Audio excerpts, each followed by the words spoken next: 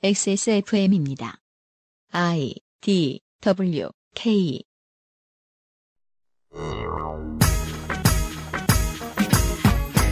참여연대 출신의 모피아 바깥에서 인선된 새 금융감독원장. 개혁의 칼을 꺼내 들지도 않았는데 이미 구설수에 올라 있습니다. 정치권도 언론도 호사가들도 큰 관심을 보이고 있는데요. 디테일을 정확하게 짚고 파악했다면 날카로운 것이겠지만 잘못된 지점을 파헤치고 있다면 사태를 이해하는데 방해가 될 뿐일 겁니다. 그 알실만큼은 유독 여러 번 시도해도 잘 안 됐던 시사 막말 코너 새로 시작해 보겠습니다. 파일럿 시간입니다.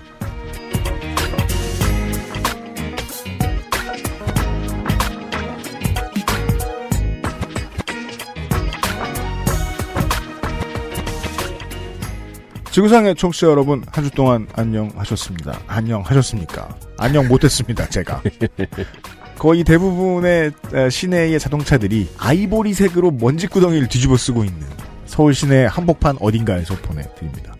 XSFM의 그것은 알기 싫다 268회 목요일 순서입니다. XSFM의 유승균 책임 프로듀서고요. 옆에는 변함없이 윤세민 에디터가 앉아있고요. 네, 안녕하십니까. 참 아이러니한 날씨입니다. 왜요? 많은 커플들이 지금 본세를 보아하니 음. 벚꽃은 이번 주말이 끝이다. 라고 생각을 하고 지난 주말에 그 강추위와 비를 뚫고 벚꽃 구경을 다녀왔거든요. 네.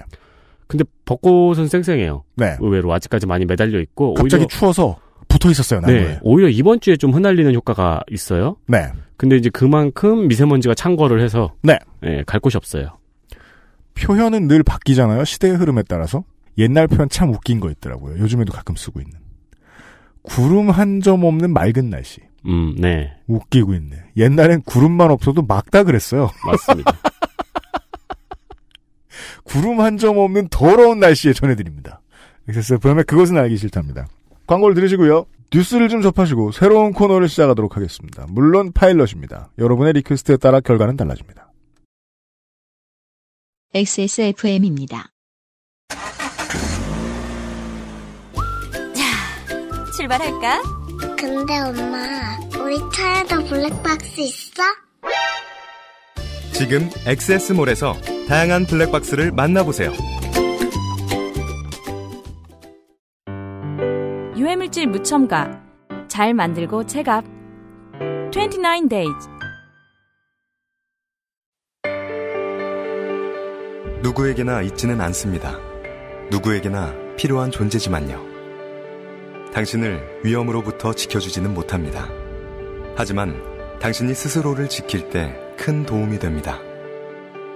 거짓말을 하지 않습니다. 그래서 당신, 그리고 주변에 모르는 사람들도 지켜줄 수 있습니다.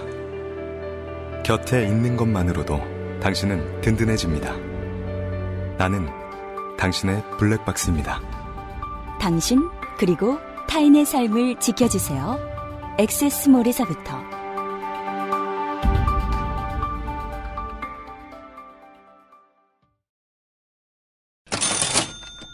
네. 민, 민주노총 광고인 줄 알았어요. 물론 민주노총도 당신 그리고 타인의 삶을 지켜주려고 애는 쓰고 있어요. 네. 하지만 차 사고가 났을 때 민주노총이 나가서 도와주지 않아요? 블랙박스 광고가 왜 이렇게 무겁고 화려해졌느냐? 블랙박스를 한 회사 것만 팔지 않기 때문입니다, 이제. 종류가 많이 늘어났습니다. 투채널 HD 지원하는 저가형. 늘 원래 있었는데요. 그거 말고 파인뷰 GXR 1000? 저는 이게 무슨 적인지 모르겠습니다. 그리고 슈퍼 FHD라는데 슈퍼 FHD가 뭔지 몰랐거든요. 어, 진짜요? 그런 게 있어요? 2.5K래요. 4K가 아니고 오, 2304 by 1296이에요. 이걸 2.5K라고 부르더군요. 꽤 높네요. 그렇죠. 네. 저희 집에는 그걸 지원하는 모니터 없는데, 음, 그러게요. 네, 풀화면을 보기 어려워요. 그러니까 에, 그 FHD보다 높은 거잖아요. 네. 아, 그 중에서, 에, 만도의 제품하고 아이트로닉스의 제품은 2주 동안 만 원을 할인해서 팔고 있습니다. 2주를 넘기지 않을 것 같습니다. 그, 함부로 값깎으면 눈치 많이 보여가지고요. 2주 동안만 할인할 수 있도록 하겠습니다. XS몰에 오시면, 어, 블랙박스 코너에서 확인하실 수 있고요.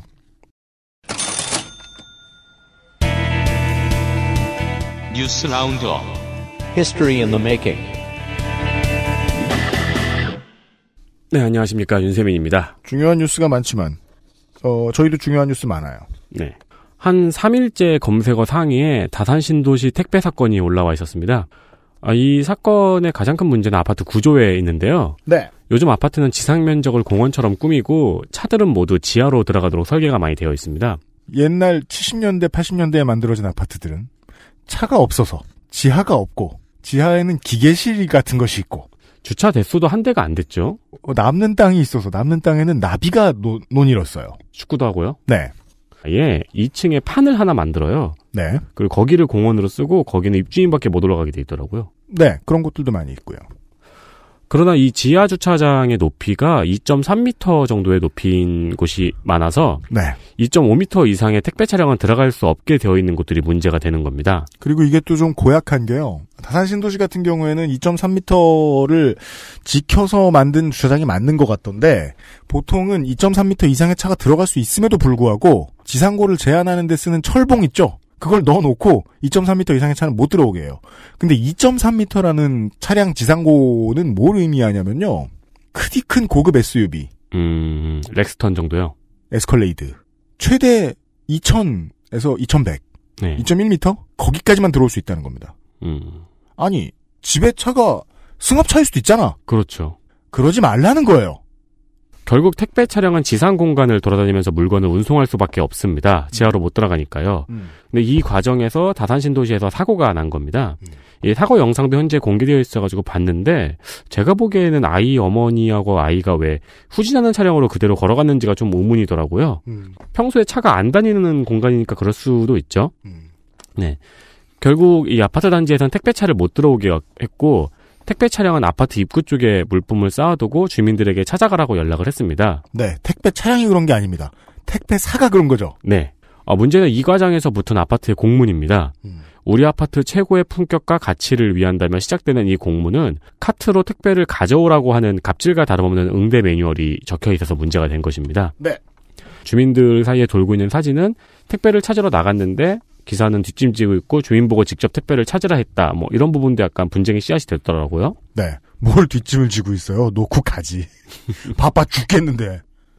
어, 아직 명확한 합의 내용이나 해결 방안은 나오지 않은 상태입니다. 근데 네. 택배 차량이 이제 택배사의 차량이 아니고 그 택배 기사님의 차량인 경우도 많고 음. 그리고 거기다 물건 쌓아두고 카트로 하나하나 배달하라고 하면은 음. 이분들은 다른 직업 찾아야죠. 이미 많은 운수 노동자들은 다른 직업을 찾아야되기 시작한 지가 한참 지났고요. 네. 오버로드는 뭐 어제 오늘의 일이 일이 아니고요. 택배 한 건을 이제 배송을 하고 남는 돈이 천 원이 안 된다는 사실, 천 원에 한참 못 미친다는 사실은 많은 언론을 통해서 알려져 있기도 하고요. 이런 문제가 어, 서비스 민원으로 계속해서 비화되면 한 건 한 건 전화를 받는데 되게 어렵죠. 기사님들이 전화를 다 못 받으면 서비스 센터로 넘어갑니다. 네. 어, 그리고 이렇게 시킬 수 있는 아파트의 주민들이면 아마 CS에도 보통 과부하를 거는 서비스 민원이 아닐 겁니다. 음. 고약할 거예요. 이게 늘어나면 회사 입장에선 손해입니다. 네. 이렇게나 많이 발로 움직여야 되는 배송에 배송비를 더 준다? 회사는 그걸 원하지 않습니다. 그래서 이러한 노동쟁이가 중견기업과 고객들의 싸움으로 번지게 된 거죠. 그렇죠. 독특한 상황이 나왔습니다. 네. 예. 서로 입장이 다 다른데 이런 싸움이 날 수밖에 없는 상황이 나왔죠. 네. 아, 어떻게 해결될지는 잘 모르겠어요. 저는 이 그 지나치게 권력화된 아파트 단지들이 무섭더라고요. 음, 뭐 권력화라고 할 수 없죠. 그분들 권익을 위해 싸우는 거니까. 음, 근데 음, 다른 그냥 주택에 사는 주민으로서는 되게 무섭더라고요. 음. 저걸 누가 막아 하면서. 아, 어제 오늘 일은 아니죠. 네, 다음 소식입니다. 강인한 입술이 인상적인 최대집 의사협회 회장이 나무위키에 본인 문서를 수정하다 걸려서 차단당했습니다.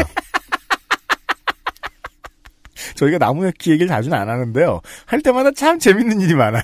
참 재밌는 곳이에요. 어, 현재는 정확히 최대집 의협 회장인지는 확인되지 않았습니다. 다만 그 문서를 수정한 IP가 의협의 IP고요. 그리고 그 해당 IP가 최대집 회장이 의협에 글을 올렸던 IP와 동일하다는 점이 확인됐습니다. 회장님 바쁜데. 극우 성향의 집회에 참석했다는 내용을 자유민주주의 원칙에 입각하여 보수 성향의 집회를 주도했다 는 내용으로 바뀌었고요. 나무위키 별로, 아까 제가 저도 문서는 안 만들어봐도 모릅니다만, 그, 많이 안 해본 솜씨이다. 네. 아, 그리고 경찰에 고발된 내용을 삭제하고, 이게 좀 웃겨요. 변희재 측근이란 문장을 지웠어요. 네. 네, 그리고 이국종 교수와 비교하는 문장도 삭제하는 등 두 번 이상 이 문서를 수정한 것으로 드러났습니다. 해석은 자유입니다, 청취자 여러분. 알아서 해석해 주세요. 전국 의사 총연합 관계자는 최 대표와는 무관한 일이라며 뭐 대답을 했는데요. 아, 요즘의 소셜의 가장 일반적인 핑계가 나왔죠. 고양이가. 아니 근데 무관한 일은 아니죠. 그분 문서인데. 네. 아 그리고 악의적인 정보를 수정하려고 했는데 이에 차단을 당해서 이것이 명예훼손이라고 생각한대요. 음. 나무위키에 사과를 원한다고 답변했습니다. 네. 따라서 이 이런 최대한으로 보면은 아, 이런 철학을 보여준 거죠. 사실상 공공의 문서라고 볼 수 있는 네. 아카이브에 자기의 길 자기가 하는 것, 즉 어뷰징에 대한 개념이 없다. 그죠. 정립이 안 된 사람이다. 라는 걸 보여줬고요. 아, 이 정도의 이제 그 디지털 시민의식이 실종된 인물이 어떻게 의사협회 회장이 될 수 있는가. 라는 문제에 대해서 걱정하시는 분들이 많은데 되게 많은 노동쟁이가 저는 더 정치적으로 밝아야 하고 똑똑해야 되고 그런다고 생각하지 않습니다. 한국이 워낙에 노동 탄압이 유별나기 때문에 어쩔 수 없는 거지. 더 똑똑해야 되는 거지. 원래대로 하면은 그냥 보통 지금 한국의 노조들이 하고 있는 만큼만 해도 잘하는 거라고 생각합니다. 아주 아주 신사적으로 잘하고 있는 거라고 생각해요. 근데 한국은 깐깐하잖아요. 노동쟁이를 보는 시각이. 네. 그런 데서 국민의 성원을 힘입어서 이 큰 문제를 어, 자기들 집단에 유익할 수 있도록 만드는 방식으로 이런 극우 인사를 선택했다? 음. 네. 의사협회가 개별 사안의 옳고 그름을 떠나서 철들려면 멀었다. 오히려- 일단 이제 첫 번째 인식이고요. 오히려 굉장히 중요한 논의의 수준을 오히려 후퇴시킬 수 있는 걱정도 있는 거죠. 뭘 오히려 후퇴시켜요? 후퇴시킬 겁니다. 예. 그리 봅니다. 그 다음 뉴스 보시죠.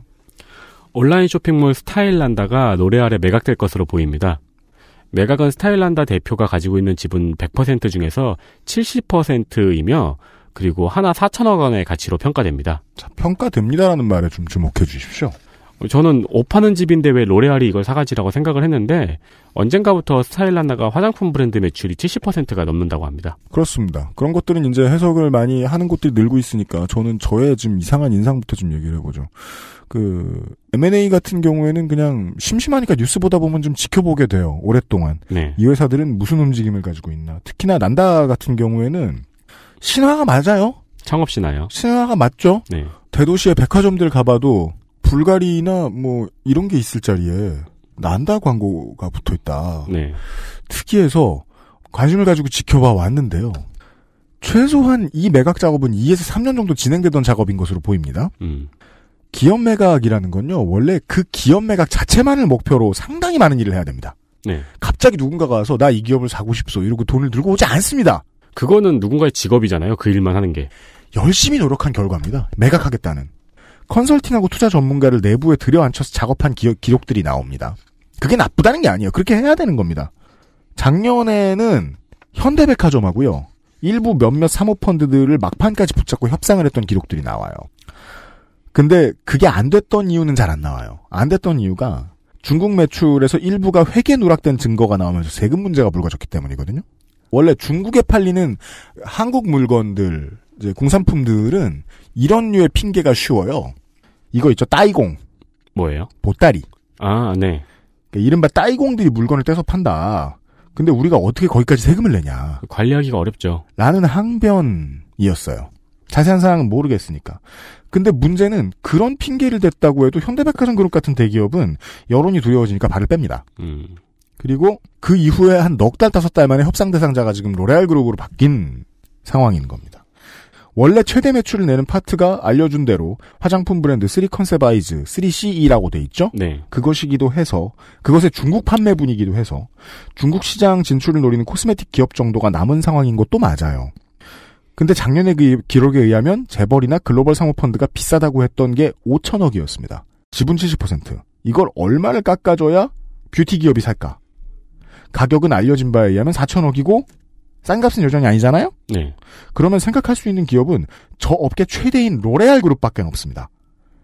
근데 사실 이건 그냥 계속 좀 봤으니까 설명충을 좀 한 거고요. 제가 여러분한테 좀 여쭙고 싶습니다. 4월 10일 오후부터 밤까지 양대 포털의 검색어 1위가 변동 없이 계속 스타일란다였습니다. 네. 이게 가능하냐는 겁니다. 양대 포털에서 단일 검색어가 이렇게까지 일이 오래 하는 거 정말 이례적입니다. 이때가 저는 이 장사꾼이니까 알아요. 이때가 되게 압도적으로 다산 신도시 택배 사건이 붐업이 돼 있어가지고 계속 스타일란다. 계속 이게 1위였다가 갑자기 1위가 스타일 난다고 2위가 다산 신도시로 바뀌더라고요. 이명박 구속 때도 이렇게 오래간 검색어 없었습니다. 올해 가장 길게 올라와 있던 것이 제가 추적한 것만 놓고 보면 조민기 카톡 정도예요. 음. 둘 중에 한 군데에서만 너댓 시간 1위 하더군요. 너무 오래 1위를 하더라고요, 검색어를. 양대 포털에서요. 그럼 생각할 수 있는 건 지금 당장 이번 시즌 물건을 옷이나 화장품을 폭탄 세일하나? 저도 그래서 스타일란드에 들어가 봤어요. 안 했죠. 네. 게다가 지금은요. 스타일란다의 편에서 스타일란다를 팔아줘야 하는 기업이 있어요. 매각 전문가들. 음. 주관사 UBS라는 곳이 있어요. 거기가 로레알 그룹을 우선 협상 대상자로 선정한 단계입니다. 네. 안 샀어 아직. 네. 매각이 될 수도 있겠지. 좋은 일일 겁니다. 누군가한테는. 중소 혹은 중견 기업의 매각 우선 협상 대상자 선정이 이렇게 길고 큰 뉴스가 된다는 게 제가 모르는 뭔가가 있나? 이렇게 뉴스가 많은 때 그러니까 그냥 호기심이 생겼었습니다. 네. 다음 보시죠. 아, 오늘 말씀드리는 이슈는 전부 다 검색어 상위 이슈들이네요. 그러네요, 웬일로? 네. 김기식 금감원장의 해외 출장이 논란이 되고 있습니다. 네. 피감 기관의 돈으로 해외 출장을 다녀왔다는 로비성 해외 출장이 문제입니다. 청와대는 관행이라고 밝혔지만 과거 김기식 국회의원 시절에 비슷한 사례를 명백한 로비고 접대라고 목소리를 높였던 장면이 주목을 받으면서 언론과 야당에서는 이를 이중적 태도라고 비판하고 있습니다. 또한 함께 출장을 다녀온 인턴 직원 역시 문제가 되었는데요. 야당에서는 처음에 이 인턴을 두고 여비서라고 지청을 했고요. 다 받아 적었죠. 네. 국회나 야당 내부에서도 인턴이 여성이라는 것을 부각시켜서 이상하게 프레임을 끌고 가지 말자는 목소리가 나왔습니다. 음. 그러나 검색을 지금 해보면요. 언론의 워딩은 아직도 여비서입니다. 아, 진짜 싫어 죽겠어요. 예. 한편 문화일보는 이 직원의 개인 SNS 사진을 그대로 보도하는 기사를 올렸다가 내렸어요. 이씨. 네. 이랬습니다. 이쯤 되면, 오늘쯤 되면, 이제, 이런 뉴스에 대해서 모든 해석이 다 끝나 있을 거라고 여기지만, 아직도 견해는 분분한 곳들이 있는 것 같아요. 예. 어, 제가 견해를 내기보다는, 이 문제를, 이제, 업계에서 유명하다는 시사 설명충 한 분을 모셔서, 네. 네, 이야기를 들어보도록 하겠습니다. 근데 그분이 아직 안 모셔져서 제가 드리는 말씀인데요. 네. 되게 싫어하지 않으셨어요, 그런 거? 뭘요? 막말, 막 이런 거? 아. 시사 막말. 저요? 네. 그니까, 이런 거예요. 막말이라는 건요, 네. MM. 누굴 시키느냐의 문제라고 생각합니다. 아, 그건 맞죠. 똑같은 진행자 자리에 제리 스프링어를 앉혀놓느냐, 음. 코난 오브라이언을 앉혀놓느냐, 서세원? 예, 달라집니다. 김은국? 네, 달라집니다. 인선이 중요하다고 생각합니다. 음. 네. 저의 인선의 결과를 잠시 후에 확인하시겠습니다. 아, 윤세민 에디터 수고 많았습니다. 네, 감사합니다.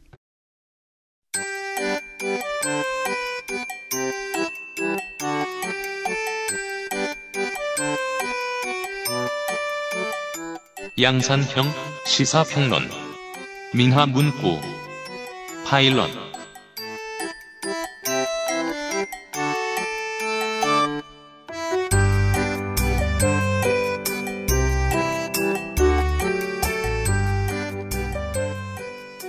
굉장히 신경 쓴 음악이 나오네요. 음악은 너무 개념치 마십시오. 이 음악은요, 아, 앞으로 그 많은 프로그램의 파일럿을 할 때 쓰는 파일럿 전용 음악입니다. 아, 진짜요? 컨셉을 알 수 없을 때. 아니, 근데 보통 이게 오늘의 방송이 만약에 너무 잘 되면은 고정 음악이 될 가능성도 있잖아요. 게스트한테 일단 미안하고요. 그러니까 이 분위기가 아니길 바래요. 저는 나쁘지 않은데요? 네 귀여운 저 아기 돼지가 들을 논이는 컨셉의 음악입니다. 며칠 사이에요. 아까 이제 윤세민 에디터가 여러분들께 알려드렸던 대로 음, 여러 가지 의혹에 대한 이야기를 하면서 그 의혹을 제기하는 방식이 좀 치졸하고 다급해 보이는데 네. 시민들은 많이 알죠. 누가 말하느냐에 따라서 어디를 의심할지를 결정하는 그건 그렇죠. 말이죠. 왜 굳이 비서의 성별을 강조하며 게다가 국회에는 인터넷에서 시작해서 9급, 7급, 5급 올라가는 게 엄청 빠릅니다. 네. 왜냐하면 사실상 정규직이 아니기 때문에 그렇습니다. 정규직으로서 받을 수 있는 대접들을 많이 받을 수 있지만 영감님 재선 안 되면 또 잘려야 되고요. 다른 사무실에 넘어가기 전에는 그냥 대기 타고 그냥 논팽이일 수도 있고요. 파리 목숨이에요. 그러니까 이렇게 구구절절히 설명해야 되는 프레임 잘 짜는 건 여전히 거기긴 해요. 국회 보좌진은 근속 연수가 있는 공무원이 아니에요. 인터넷에서 7급 되는데 얼마의 시- 시간이 필요하다는 기준도 없어요. 근데 마치 인턴이란 단어를 허드렛 일이나 하고 절대 승진하면 안 되는 존재인 것처럼 얘기를 해놨어요. 내막이 어떤지는 모르겠지만 비판의 지점이 이상하고 지적하는 방식이 좀 이상하다. 라는 의심을 가지긴 했었는데 그 아저씨는 그런 얘기를 하지 않았습니다. 그동안. 왜냐하면 우리 로스터에는 시사평론가가 없기 때문이죠. 네. too much talker는 많아요. 너무 많죠. 말하게 시키면 말은 할 거예요. 하지만 그것이 컨텐츠가 되진 않았으면 좋겠다는 겁니다. 수년을 찾아 헤맨 끝에 아주 오랜만에 그알싫이 양산형 시사평론 컨텐츠를 한번 만들어 보기로 했습니다.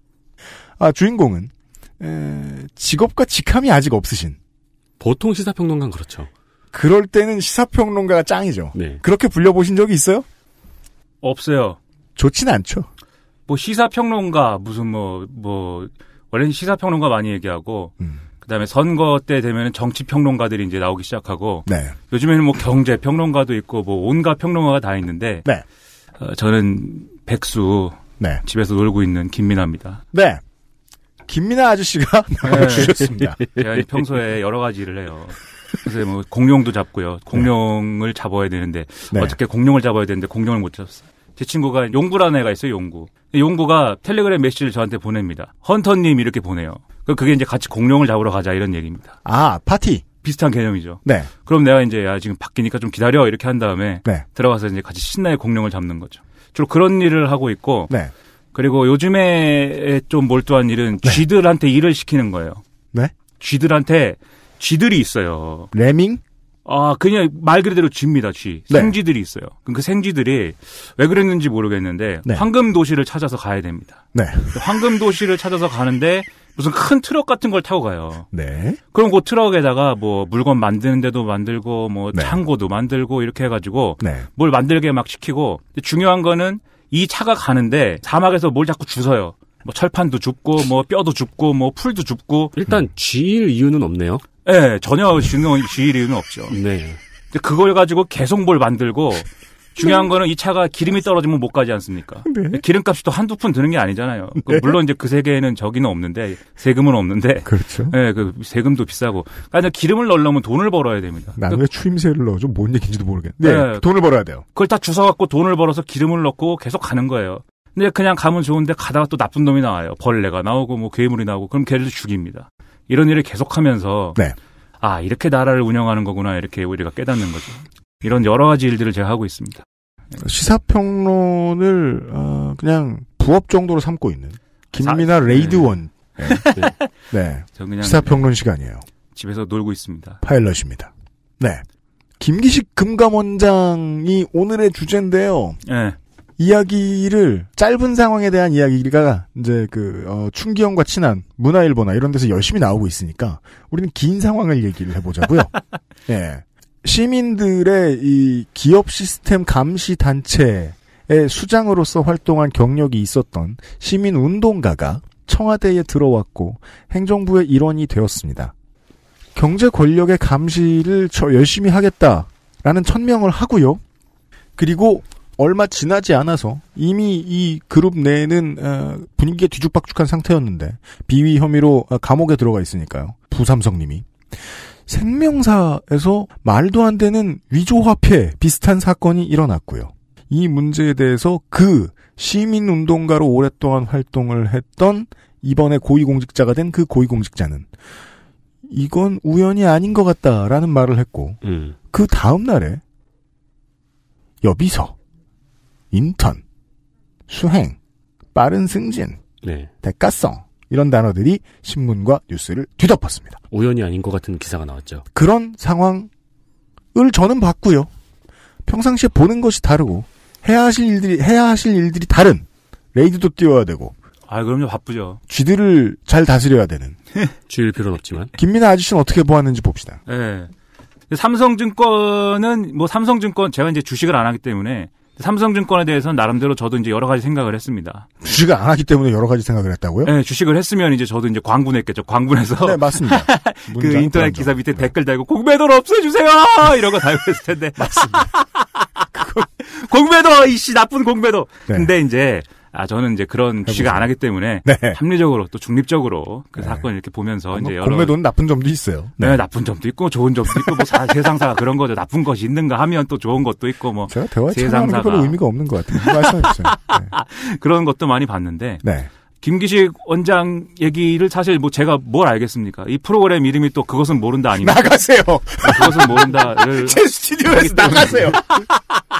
전혀 모르는 얘기를 온 거를 다 써오고 내가 그 사람에 대해서 뭘 알겠냐고? 예, 몰라 모르지만 그렇지만 우리가 또 모른다고 얘기를 못할 소냐 이거죠. 몰라도 얘기를 해야지 세상사가 사실 자- 잘 생각해 보세요.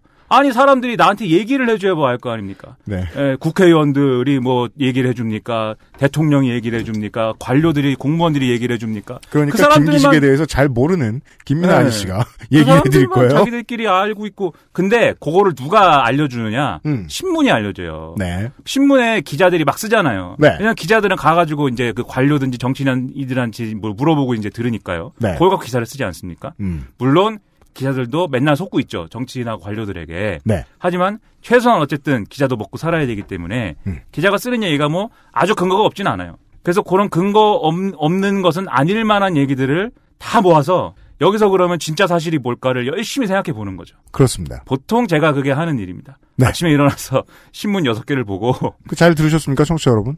네. 정치평론은 일이 아니에요. 젊었을 때 제가 그 사람들한테 많이 했던 얘기가 있어요. 일을 해, 임마, 일을. 가장 큰 아니 일 열심히 합니다. 제가 공룡도 잡고 가죽 벗기고 그거 뭐 이빨 빼고 그 네. 가장 큰 일은 지금 제가 여기 앉아 있는 거예요. 왜요? 어 저는 손희상 씨가 최고 난이도인 줄 아, 알았는데요. 그래? 공룡 친해. 짱나. 네. 공룡을 제가 손이상의 비밀 여러 가지 알고 있는데 그건 나중에 뭐 타차. 네. 알겠고요. 그 어릴 때부터 봐온. 예. 그 네. 그걸 뭐 뭔 얘기하다가 예. 그그 일단 오늘 13분 지났고요, 김기식. 아, 그렇구나. 신문을 여섯 개를 보고 이제 열심히 보는데, 어, 월요일 날 제가 신문 딱 봤는데, 네. 어, 그 전주부터 사실 김기식 원장 얘기는 조금씩 나오고 있었어요. 근데 월요일 날 신문을 딱 봤는데, 아, 이게 너무 얘기가, 논조가 급진전되어 있는 거예요. 급진정, 어떤 부분 쪽으로? 예, 그 엑셀레이터가 확 밟아 있어가지고, 음. 김기식 원장이 이미 그 세상 그렇게 나쁜 사람이 아닐 수가 없더라고요. 그 이거 왜 이렇게 됐지? 음. 네. 그래갖고 전 신문들을 쭉 보는데 제가 딱 하루 신문 안 보는 날이 있어요. 언젠데? 토요일이거든요. 뭐 토요일 알아요? 신문은 사실 좀 성의가 없이 만들어가지고 잘 안 봐요. 토요일. 그렇죠. 그렇게 되죠. 사람 마음이. 네. 얼마나 그렇죠. 많은 토요판 네. 기자들이 이 방송을 듣고 있는데. 난 토요일은. 신문도 조중동이 원래 평일엔 신문이 엄청 두꺼운데 신문이 얇아요. 토, 토요일은 또. 아, 저는 지금 김민아 하나 얻고 모든 토요판 기자들을 다 잃고 있어요. 아 그런 거요? 말씀하세요. 아 토요일 신문 굉장히 재밌고요, 여러분. 네. 토요일 신문 많이 봐주시기 바라고. 아무튼 토요일에- 아저씨는 월화수목금 뉴스를 주로 보세요. 예. 토요일 신문에 음. 야 그렇게 열심히 일을 해놨더라고요. 조선일보랑 중앙일보가. 김기식 금감원장에 대해서? 예, 김기식 융단 폭격을 해놨더라고요. 음. 그런 얘기가 네. 어, 어디서부터 시작됐냐를 또 역추적을 한 거죠. 네. 그 시작은 어, 중앙일보였어요. 중앙일보. 예, 중앙일보가 어느 날 그걸 썼습니다. 외교안보 블랙리스트 썼어요. 네. 문재인 정권의 외교안보 블랙리스트가 있다. 음. 그게 뭔 얘기냐면 외교부 공무원들도 있고 음. 또 외교부와 어, 거래를 하거나 그 산하기관이거나 뭐 이런 무슨 연구원 무슨 뭐 이런 연구소 이런 것들이 있습니다. 네. 여기 소속의 박사님들 있고 교수님들 있고 이런 사람들이 있단 말이에요. 음. 평소에 뭐 방송에도 나오고 뭐 신문에 글도 쓰고 이런 사람들이 잘 살고 잘 먹고 있었는데 음. 문재인 정권이 들어서고 나서 다 찍혀갖고 음. 방송 출연 중단되고 음. 아뭐 신문 뭐 칼럼 막 잘리고 뭐 이랬다는 얘기를 막 이렇게 쓴 거예요. 그게 굳이, 굳이 짜- 짜집어, 짜집어서 이해 만들어낸 단어인, 어, 외교안보 블랙리스트. 그렇죠. 그게 이제 우리가 항상 마주치는 논리 내로남불이다. 네. 문재인 정권이 전임 정권의 블랙리스트를 갖다가 이렇게 우리 박근혜 대통령 감옥에 보내놓고 음. 자기들이 이렇게 블랙리스트 한다. 이런 요즘 세상 쓴 모든 거죠. 언론인들은 하루에 두 번씩 이거 내로남불인데 이런 생각만 하고 있는 것 같아요. 그죠. 근데 그걸 정치인들도 다 그래요. 무, 무조건 얘기를 하면 다 내로남불이에요. 그 저도- 모를지도 몰라요. 그러니까요. 나 배고파처럼 쓰는 말 같기도 해요. 그 저도 내로남불 참 싫어하는 사람이지만 네. 요즘에 내로남불이라 그러면 지식에 줄 것 같습니다. 어떻게 세상 천지가 다 내로남불이고 내로남불 한마디로 모든 거를 정리해요. 다수의 분들은 한자어인 줄 알 거예요. 아, 왜 한자가 아니구나. 그 네. 안내자에 늙을 노자 이런 거. 옛날에 남쪽에서 진나라에서 네, 내로남불이다. 이렇게. 나무 아미타불 관세음보살. 하세요.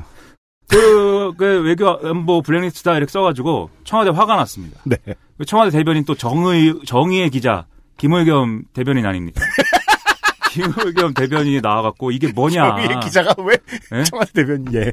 그러니까요, 그것도 이해가 안 되지만 아무튼, 뭐, 네. 네, 뭐 그건 그렇다 치고 이 네. 얘기하면 오늘 하루 종일 떠들어야 되니까 맞아요. 네. 그렇다 치고 김의겸 대변인이 나왔고 이 기사가 있다냐라고 하면서 음. 반론 사례를 충실히 제시했습니다. 그렇습니다. 이 다들 뭐 잘 먹고 잘 살고 있다. 음. 여러분들이 블랙리스트라서 뭐 끝장났다고 했지만 그런 게 아니다. 음. 그랬더니 중앙일보가 그렇군요라고 했어요. 네. 근데 갑자기 가만히 있던 조선일보가 야 이게 블랙리스트 시- 문제가 심각하다라고 그러면서 갑자기 무슨 얘기를 꺼냈냐면 음. 아 그 무슨 저 존스 홉킨스 대학이라는 게 미국에 있대요. 네. 뭐 그런 대학이 있는지 저는 모르죠 물론. 볼티모어에 있어요. 네, 존스 홉킨스가 있는데 네. 그 대학교에 이제 그 또 무슨 뭐 연구소가 있고 네. 그 연구소 이름이 한미 연구소예요. 외교안보연구소입니다.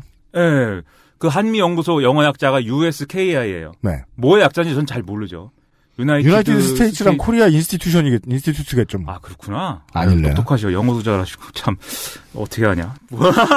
영어를 이렇게 잘 사람 영어 잘해야 됩니다. 대본을 보세요. 지금 뽑아드렸으면. 아니, 본인이 대본을 써왔는데, 지금 16분째 안 보고 있어. 아니 여기 예, 여기 있습니다. 제 앞에 있고. 고등 래퍼야? 아이, 고등 저는 대학교 중퇴학교 고졸인 건 맞는데 고등 예. 아 토익 점수. 몇 점 나오세요? 왜 물어요? 아, 영어 너무 잘하시고. USKI를 예측하는 거하고. 네.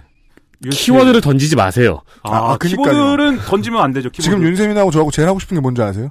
진행.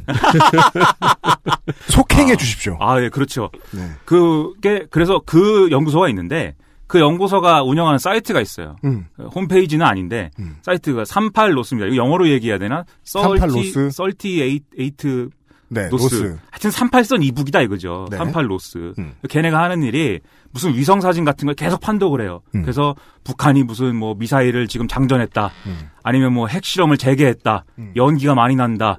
뭐 잠수함이 없어졌다. 음. 잠수함이 없어졌으면 이거 어디로 갔는지 그건 모르지만 없어졌다. 음. 이런 거를 해가지고 언론에 막 뿌립니다.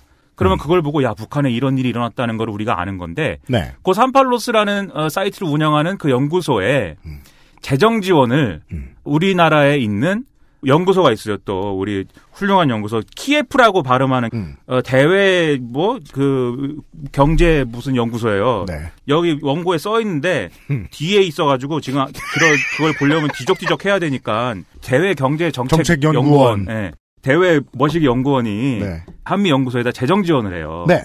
재정 지원을 하는데 이 오래됐어요. 2006년부터 이제 2006년에 이제 그 연구소가 생겼을 때부터 재정 지원을 해왔는데 네. 그 재정 지원 해오던 액수가 늘어났다가 뭐 이렇게 줄어드는 뭐 과정이었어요. 음. 근데 아예 끊기로 했습니다. 음. 어, 지난달에. 음. 지난달에 이 재정 지원을 끊기로 한 거에 대해서 이게 문제다라고 조선일보가 쓰기 시작해요. 그리고 이게 마치 그 외교안보 블랙리스트 문제하고 비슷한 문제인 것처럼 떠들기 시작합니다. 음, 보수 그리고- 언론은 네. 뭔가 지금 예전에 지원이 되다가 지원이 끊기는 게 있으면 이런 사안에 대해서 블랙리스트란 단어를 쓰고 싶어가지고 쥐고 꼭 쥐고 있는 상태로 대기 타고 있었군요. 취재를 한 거죠. 그렇죠. 음. 그리고 뭘 쓰냐면 김기식 원장이 에, 국회 정무위 시절에 네. 과거에는 국회의원이셨잖아요. 음흠. 지금은 의원 아닌데 네. 어, 국회의원 시절에 국회 정무위 소속일 때 네. 정무위라는 게 이제 그 여러 가지를 이제 뭐 다루지만 그 중에 이제 그 에, 금융위원회와 금감원이 이제 그 피감 기관 중에 있기 때문에 네. 어 그것과 함께 이 대회 뭐 시기도 있었나 봐요. 출장을 갔는데 음. 그 출장 간 데가 미국하고 캐나다 음. 9박 10일 동안 갔는데 네. 그 미국 일정 중에 이 연구소를 만나가지고 음. 아 속닥속닥 한 게 있는데 거기서 이제 그 소장 교체 이런 것들을 요구 뭐 언급하면서 음. 예산 지원을 뭐 줄일 것처럼 얘기했다더라.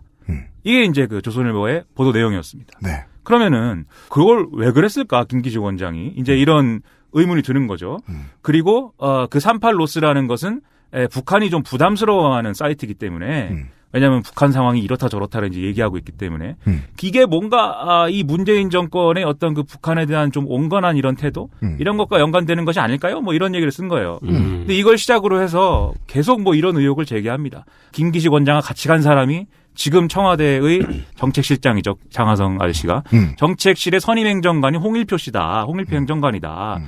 이 사람 다 참여연대 사람이다. 음. 참여연대들이 난리다. 그러면서 출장 얘기 나왔잖아요, 방금. 네. 그 출장도 야 외유성 출장들이 이렇게 많았다. 그러면서 음. 뭐 외유성 출장을 어, 어느 날은 우즈베키스탄 얘기하고 어느 날은 인도 얘기하고 음. 외유성 출장, 출장들을 쭉 얘기합니다. 언론이 많이 하는 짓들 중에 하나죠. 마음에 안 드는 이제 정당의 마음에 안 드는 국회의원들이 출장을 갔을 때 출장 내용을 밝히지도 않아 놓고 외유라고 일단 표현하는. 그렇죠. 근데 이제 요거는 그게 뭐 우리가 또 따지자면 그러면 그 출장이 외유성 출장이냐 아니냐 우리가 또 따져야 되잖아요. 네. 근데 이 정치권에서 하는 얘기들은 왜냐면 저는 뭐 정치권 인사는 아니니까 진실을 제가 뭐 파헤치고 뭐 이런 탐사 보도의 뉴스타파 기자는 아니잖아요. 그러니까 그러니까 아까부터 지금 모른다. 나 기자 아니다. 아, 그렇죠. 정치권이랑 상관없다. 네. 자꾸 강조하지 마십시오. 아 예. 그래요? 그 저 그게 저의 저희 방송의 가치가 그래서- 떨어지잖아요. 아닙니다. 저의 가치가 떨어지고 여러분 제가 진짜 세상에 이렇게 많은 죄를 지고 안고 자폭하고 계신데. 그것을 네. 어 이제 뭘 얘기하다가 아 그 외유성이냐 아니냐 그 세상에는 또 그렇게 일도 양단할 수 없는 게 또 많죠 또 네. 그게 그래서 얘기는 많아요 이게 일은 일을 하러 갔는데 음. 아 그것이 뭐 일부 뭐 쉰 날도 있고 뭐 음. 아니면 또 일부 잠깐 구경한 것도 있고 뭐 음. 이렇게 설명들은 이렇게 하는데 음. 김기식 원장과 그 청와대가 얘기한 것은 어쨌든 국민들의 시선에서 볼 때는 이게 좀 그 어떤 부적절하게 보일 수 있는 그런 것이면 맞다. 그런데 국회의원들의 어떤 출장이나 이런 것들의 어떤 관행이라든지 뭐 이런 현실적인 어떤 그런 맥락들을 봤을 때 이걸 가지고 금융감독원장을 해임해야 된다거나 음. 형사고발이 필요한 일이라고는 우리 생각하지 않는다. 이게 이제 청와대와 여당의 입장이에요. 여당의 많은 국회의원들이 외통수에 빠지기를 보수 언론과 야당은 기대했던 것으로 분명히 보입니다. 왜냐하면 거의 모든 국회의원들이 출장 나갈 때 이쪽 돈 받고 네. 돈을 받는다고 하니까 이상하잖아. 예. 차비든 경비든 아, 그렇죠. 움직이는 데 드는 돈. 왜냐하면 차를 모는 데는 기름이 필요하거든. 네. 그런 정도 비용을 충당하는 건데 그래서 사실 국회 재정으로 보자면 국회 재정을 아끼는 행위인 것이기도 하죠. 그렇다고 옳다고는 못 말합니다. 오래된 관행 정도로 얘기해 둡시다. 모두가 다 하는 관행이니까 설마 이 관행을 가지고 그건 관행이다. 죄 없는 자 돌 던져라. 이런 소리 못 하겠지. 정도를 기대했던 것 같아요. 음. 네. 거기서 앞- 지금 제가 떠들면서 빼놓은 부분이 그건데 돈을 이제 그 피감 기관이 줬다 이거죠. 그 돌아다니는데 필요한 어떤 아, 여러 경비 말씀하신 대로 뭐 자는데 필요한 돈, 먹는데 필요한 돈, 움직이는데 필요한 돈. 음. 근데 그거 이제 사실 우리가 어떤 상식선에서 보면은 그러면 안 되죠 사실. 네. 어쨌든 국회가 그런 기관들 또는 어, 뭐 연구소면 연구소 또는 뭐 은행이면 은행 이런 데를 감독을 하는 데인데 감독을 하고 감시하고 아, 이런 것은 하면 안 된다고 막 불러가지고 국정감사에 불러갖고 막 호통치는 데인데 그것을 이제 출장 갈 때는 그 사람들이 되는 비용으로 왔다 갔다 했다 이런 것들이 우리 같이 이제 하루하루 이제 열심히 사는 물론 저는 공룡 사냥하지만 하루하루 열심히 사는 사람들 이 볼 때는 아 이거 문제 있어 할 만한 일이라는 것은 맞다는 얘기죠. 네. 청와대와 김기식 원장이 하는 얘기는 네. 그래서 미안하다고 하는 것이고 미안한 건 미안한 건데 어, 어쨌든 그게 뭐 금감 원장을 안 해야 되는 이유는 아니지 않을까 이렇게 말하고 있는 겁니다. 네. 여기서 이제 또 재밌는 게 나오는데 조선일보가 이제 지면에는 그렇게까지 뭐그 그 지난주까지는 그렇게까지는 강조를 안 했는데 음. 뭐 이번 주에는 뭐 심하게 강조하고 있죠. 아, 거기서 대동한 게 이제 뭐 여비서다. 여비서를 네. 데리고 출장을 둘이 갔다. 인턴이다. 그런 걸 이제 막 썼어요. 음. 근데 시작할 때 말씀하셨지만 인턴이라는 거거든요. 네. 그 처음에는 김기식 원장이 그 사람이 어 내가 데리고 갈 만해서 데리고 간 사람이다. 네. 그냥 함부로 데리고 간 게 아니라 이 사람 뭐 석사학위도 있고 전문가고 그리고 인턴의 지위였지만 어, 나중에 이제 그 뭐 빨리 급수로 올려가 올려줘서 정책 비서를 하던 사람이다. 그 음. 전문성 있는 사람이기 때문에 내가 업무차 데려간 것이다. 공적 목표를 갖고 어, 데려간 것이다. 음. 이렇게 이제 해명을 했어요. 그랬더니 자유한국당과 조선일보가 야 그럴 수가 있느냐 그렇게 고속 승진을 하다니 수상하네요. 음. 이렇게 이제 막 떠든 거죠. 국회라는 데가 제가 또 주워 들은 거는 있으니까 네. 그 보좌관들이 하는 걸 보면은 인턴이라고 해서 이제 일반 회사의 인턴이 아니에요, 사실. 물론 그런 인턴도 있는데 인턴이라는 데가 예를 들면 이렇습니다. 나름 보좌관 시장이라는 게 또 있거든요. 보좌관과 비서 시장이라는 게또 그렇죠. 있어요. 인력 시장처럼. 그 의원들이 이제 자기가 의원실 꾸릴 때 훌륭한 사람들은 자기가 보좌관과 비서들을 다 데리고 오지만 그렇지 못한 경우에는 그 인력 시장에서 이제 수급을 합니다. 저기 서강대교 앞에 보면은 군부를 떼고 있어요. 이렇게 비서관들이. 맞아요. 드론톱에다가 예. 그 네, 실제로 이제 뭐 여기저기. 다니신다고 하죠. 그럼 네. 김기식 의원실 네. 세 분. 버- 그럼 버스 봉- 타고. 봉고차 타고 네. 가고 이제. 예. 근데 그렇게 갈 경우에 예를 들면 이런 경우 있어요. 지금 TO가 없어가지고 네. 왜냐면 국회 사무처가 몇 급은 몇 명씩 해라는 TO를 갖고 있기 때문에 그 이상은 줄 돈이 없어서. 그렇죠. 내가 당신을 5급 부자관으로 채용하고 싶은데 음. 당장은 TO가 없으니 그렇지만 당신이 빨리 저 와서 일을 해줬으면 좋겠으니까 음. 한두 달 정도 인턴으로 계시다가 아 이게 티어 TO가 나면, 빠지면 나면. 5급으로 바로 올려줍니다. 이런 경우들이 많거든요. 음. 그래서 그럴 수도 있는 것이고 음. 아니면 정말 기상천외한 경우 있습니다. 의원님의 자제분이 인턴으로 오셔요. 네. 왜 인턴? 그럼 그게 인턴입니까? 우리가 흔히 회- 생각하는 회사에 상전이에요, 상전. 그거는 모시고 다녀야 되고. 선. 인턴이 아니라. 그렇죠. 선앤 도터, 도터. 네. 너무 영국식 발음입니다. 도터는. 근데 그런 경우도 있고, 네. 예, 아니면 진짜 뭐 잠깐 오셨다 가는 이제 저 스펙 쌓으려는 인턴도 있고 음. 여러 가지 종류의 인턴이 있기 때문에 이 인턴이 뭐 고속 승진을 했고 이런 건 사실 이제 오바죠. 그런 경우가 여튼 보수 언론은 그걸 의도했습니다. 그렇죠. 보통 7급, 9급에서 7급 올라가고, 9급에서 8급 올라가고, 8급에서 7급 올라가는데 수년이 걸리는 국회 말고 다른 데 공무원. 그렇죠. 에서 아무 상관없이 직제 급이라는 글자만 베껴온 국회랑 비교를 해서 잘못된 비교를 함으로써 공무원을 하고 있거나 공무원을 해보고 싶은 사람들에게 분노를 자아내려고 의도했어요.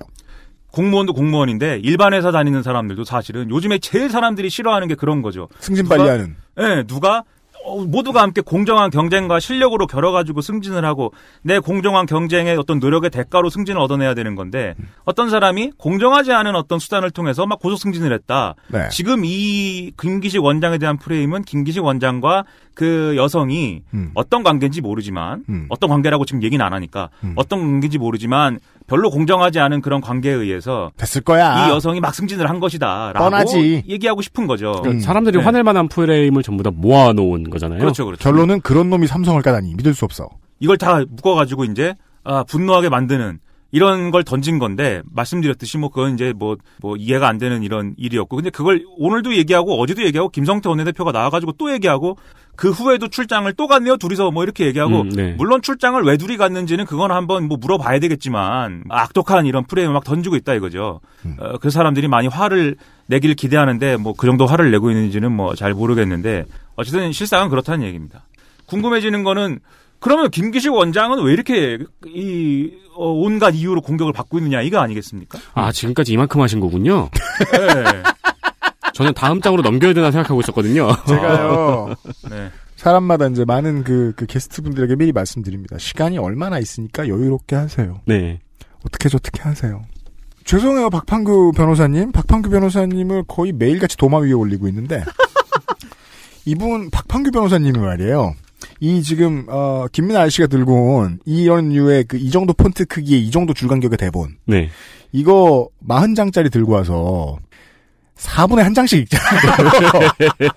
근데 지금 어, 대본을 보지 않고 뭔가 어, 수행 넘치는 고등 래퍼처럼 떠들어 주신 어, 저 아저씨는 지금 한 다섯 줄을 봤나요? 아닙니다, 아닙니다. 이거 뭐 아니요, 그래도 한 네 문단 갔어요. 네, 천장 첫 장 다 했어요. 거의 다 했어요. 네. 네, 어, 그리고 뒤에 상당 부분은 이게 그 부록이요. 제가- 부록이기 때문에. 네. 예. 예, 참 사람마다 이게 이렇게 차이가 다른데 저는 오늘만큼은 뭔가 그 상담 전문가가 된 것 같고 그 사람이 얘기를 꼭 고개를 주워거리면서 들어줘야 될 것 같은 거야. 아, 못 알아듣겠는데. 왜냐면 말하게 두면 이따 한 시간 뒤에 울 것 같아. 뭔가 더 많은 자기의 비밀을 얘기할 것 같고. 왜 시사 프로 안 같은지 모르겠습니다만 잠깐 광고를 듣고 와야 되겠습니다 그리고 윤세민이 옳았다는 것에 저는 지금 충격을 금할 수가 없습니다 이 음악이 어울리네요 그죠?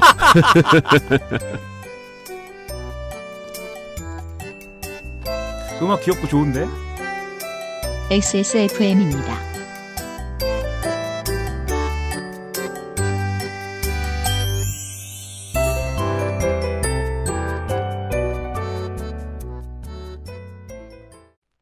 Maestro il pasticcere. La pasticceria. 출근 전에 빤도로 챙겨 먹고 나가니까 맛있고 속도 든든하니까 너무 좋던데. 그치? 천연 재료로 만들어진 빵이라 부대 끼는 것도 없고 참 좋더라고. 이렇게 식탁 위에 계속 놔둬도 되는 거야? 어, 그렇게 보관하는 거야. 이탈리아 전통 방식인 천연 발효로 만들어서 상온에둬야 더 맛있어. 방부제 들어간 거 아니야? 방부제는커녕 그은한 이스트도 안 쓴다고. 이탈리아에서도 파티에서나 올린다는 고급 음식을 매일 아침 먹을 수 있는 건 우리 동네에서 우리밖에 없을걸? 아무나 만들 수 있는 빵 같진 않아. 당신의 식탁은 매일같이 특별한 날. 이탈리아에서 온 케이크 라 파스티체리아. 순면 감촉 커버 잘 만들고 제갑 29 days 당신의 식탁은 매일같이 특별한 날. 이탈리아에서 온 케이크 라 파스티체리아. Maestro il pasticcere. La pasticceria.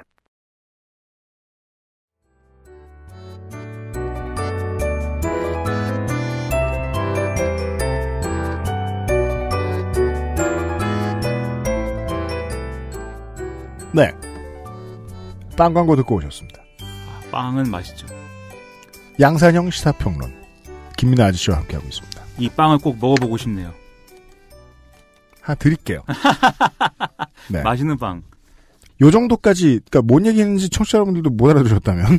아니요, 근데 다시 한번 시동 거시고 나서 엄청난 데이터를 쏟아내셨잖아요. 그렇습니다. 아, 그래요? 네. 네. 그렇구나. 오래 전부터 어, 다른 여- 다른 몇 가지 이유로 어, 외교안보 블랙리스트 얘기가 나왔습니다. 예, 보수 언론이 몇몇 지금 청와대 내 인사들을 행정부 내 인사들을 물어뜯었는데 그 중에는 장하성 정책실장과 김상조 공정거래위원장이 있었고 네. 어, 한 축으로 김기식 금감원장도 있었습니다. 이 셋을 묶어 참여연대 인맥. 그렇죠. 이라는 단어를 썼습니다. 인맥이라는 말만 들으면요. 코드 인사라는 우리가 15년 전쯤 많이 들었던 단어도 생각나고요. 김기식 원장이 타겟이 된 지가 좀 됐다. 그 이유가 뭘까부터 설명을 해 주셔야 됩니다. 왜 이 난리가 난 거냐, 그죠? 네. 김기식 원장이라는 사람은 금융감독원장이니까 음. 우리 또 금융감독원 하면은 사실 우리 잘 알고 있다고 생각하지만 잘 몰라요. 금융감독원이 뭐 언제부터 있었고 음. 네. 왜 있는 건지 그죠? 혹시 그 일본 드라마 한자와 나오키를 보셨는지 모르겠는데 아, 예. 그, 저, 그 변호사 아저씨가 주인공인 드라마인데. 그거는 리갈하이인 것 같고 그죠, 리갈하이. 그 변호사 아 그렇죠 변호사 리갈하이의 변호사 아저씨가 한자와 나오키의 주인공으로 나오죠. 그건 뭐 옛날 어른 발음, 발- 옛날 어른 야. 발- 저 발음을 하고 그래. 니갈하이래, 니갈하이. 네, 리가르 리가로 하이 라디오를 나지오라고 읽으실 네. 분이에요. 리가로 하이. 아무튼 리갈하이 네. 주인공 아저씨가 나오는 그 네. 거의 저 기록적인 시청률을 기, 아 그렇죠. 예. 일본 사람들 다 좋아하는 드라마 남긴 한자와 나오키. 네. 난 그 처음에는 한 한자인 줄 알고 한자와 나오키는 무슨 얘기일까? 이게 사람 이름이죠. 은행 얘기라는데 나오키. 야 은행 서류에 한자는 많이 나오지. 그 은행 얘기인데 거기 보면은 악역이 나와요. 악역이 나오는데 그 사람은 무슨 국세청인지 뭐 어디 사람인 것 같은데 음. 그 사람 한 번 뜨면 은행들이 난리가 납니다. 막다 음. 자료를 갖고 와야 되고 막 야 이거 검사 맡아야 되고 음. 잘못하면 은행은 끝장나요. 그 사람한테 잘못 보이면 은행이 끝장납니다. 음. 우리나라에서는 금감원이 이제 그런 존재죠. 그렇죠. 예, 제가 또 굳이 진지하게 가자면은 각 국가별 무슨 금융 규제 무슨 제도를 떠들 수도 있지만 준비가 안 됐기 때문에 음. 네. 그렇게 하나 안 하지, 하지 못하고 어쨌든 이 금융감독원이라는 데가 그런 무시무시한데요. 음. 근데 그렇기 때문에 사람들이 이게 야 힘이 무지하게 센 국가기관인가 보다라고 생각하는데 음. 국가기관도 아닙니다. 그렇습니다. 이게 어, 반, 그래요? 반관 반민이라고 그래가지고 네. 무자본 특수법인으로 돼 있어요. 네. 오. 우리나라에 무자본 특수법인이라고 돼 있는데 또 있는데 그것이 한국은행입니다. 맞습니다. 한국은행도 국가기관은 아니거든요. 오. 그게 왜 그러냐면은 외환위기 때 외환위기 때까지는 나라에서 강하게 이제 은행과 금융을 통제를 했는데 네. 외환위기 때 이제 다 망하지 않았습니까? 음. 그걸 가지고 이제 외환위기의 원인은 뭘까를 사람들이 굉장히 많이 얘기했는데 그 중에 하나가 관치금융이었어요. 음. 금융을 관이 어, 그러니까 나라가 좌지우지해서 그 금융이 뭐 효율적으로 뭐 돌아가지 않았기 때문에 그래서 이제 IMF까지 온 거다 이제 이런 얘기를 해서 그렇다면 금융을 이제는 좀 잘 해봐야 되겠다. 규제도 나라님이 하는 게 아니라 어, 어떤 나라가 하지 않는 반관 반민의 조직으로 해야 되겠다. 그래서 그 전까지 있던 이제 금융 규제 기관들을 합쳐서 금융 감독원을 만들고 그것을 누가 통제하냐면 금융감독위원회가 통제하게 설계를 했어요. 네. 근데 뭐 누가 통제하고 이런 건 중요한 게 아니라 어쨌든 그 정도의 무소불위의 권한을 있다. 갖고 있는다는 거죠. 아니 근데 네. 그 기관 자체가 반관 반민이라고 해도 네. 그 기관의 장이 어떤 성향을 그러니까 어떤 성격을 가지고 있는지가 더 중요하잖아요. 그렇죠. 대부분 관료 출신이 합니다. 이게 처음에 어떻게 됐냐면 금융감독위원회 그리고 금융감독원 처음 생겼을 때 체제가 누가 초대 위원장과 감- 그 금감원장을 하냐면 이현재 씨가 하거든요. 네. 어, 혹시 뭐 아시, 아시는 분은 아시고 모르시는 분은 모르시고 대부분 아시겠죠. 뭐 이현재 씨라 그러면 97년도에 이현재라 그러면은 아우 무서웠어요. 이현재 1944년 상하이 행정고시 6회 재무부에서 13년간 일했고 이후 대우반도체 사장을 거쳐 97년 이회창 대선 후보 경제특보를 역임했지만 당선된 김대중 대통령의 인수위에 합류, IMF 대응을 위한 경제대책위원회의 기획단장이 됩니다.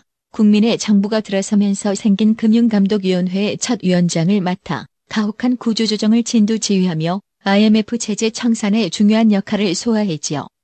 다만 21세기 들어서는 구조조정 기류는 적대적 M&A로 재무부 경제관료는 무피아로 변질되는데 단초를 제공한 인물로 비판을 받기도 합니다. 나라가 망해가지고 비상경제대책위원회라는 게 만들어져요. 네. 그게 무슨 법에도 없는 기구입니다. 네. 그냥 비상경제대책위원회가 있고 그 비상경제대책위원회에서 모든 걸 다 박살냈어요. 은행들을 막 합치고요. 그리고 망해도 되는 은행은 그냥 망하게 두고요.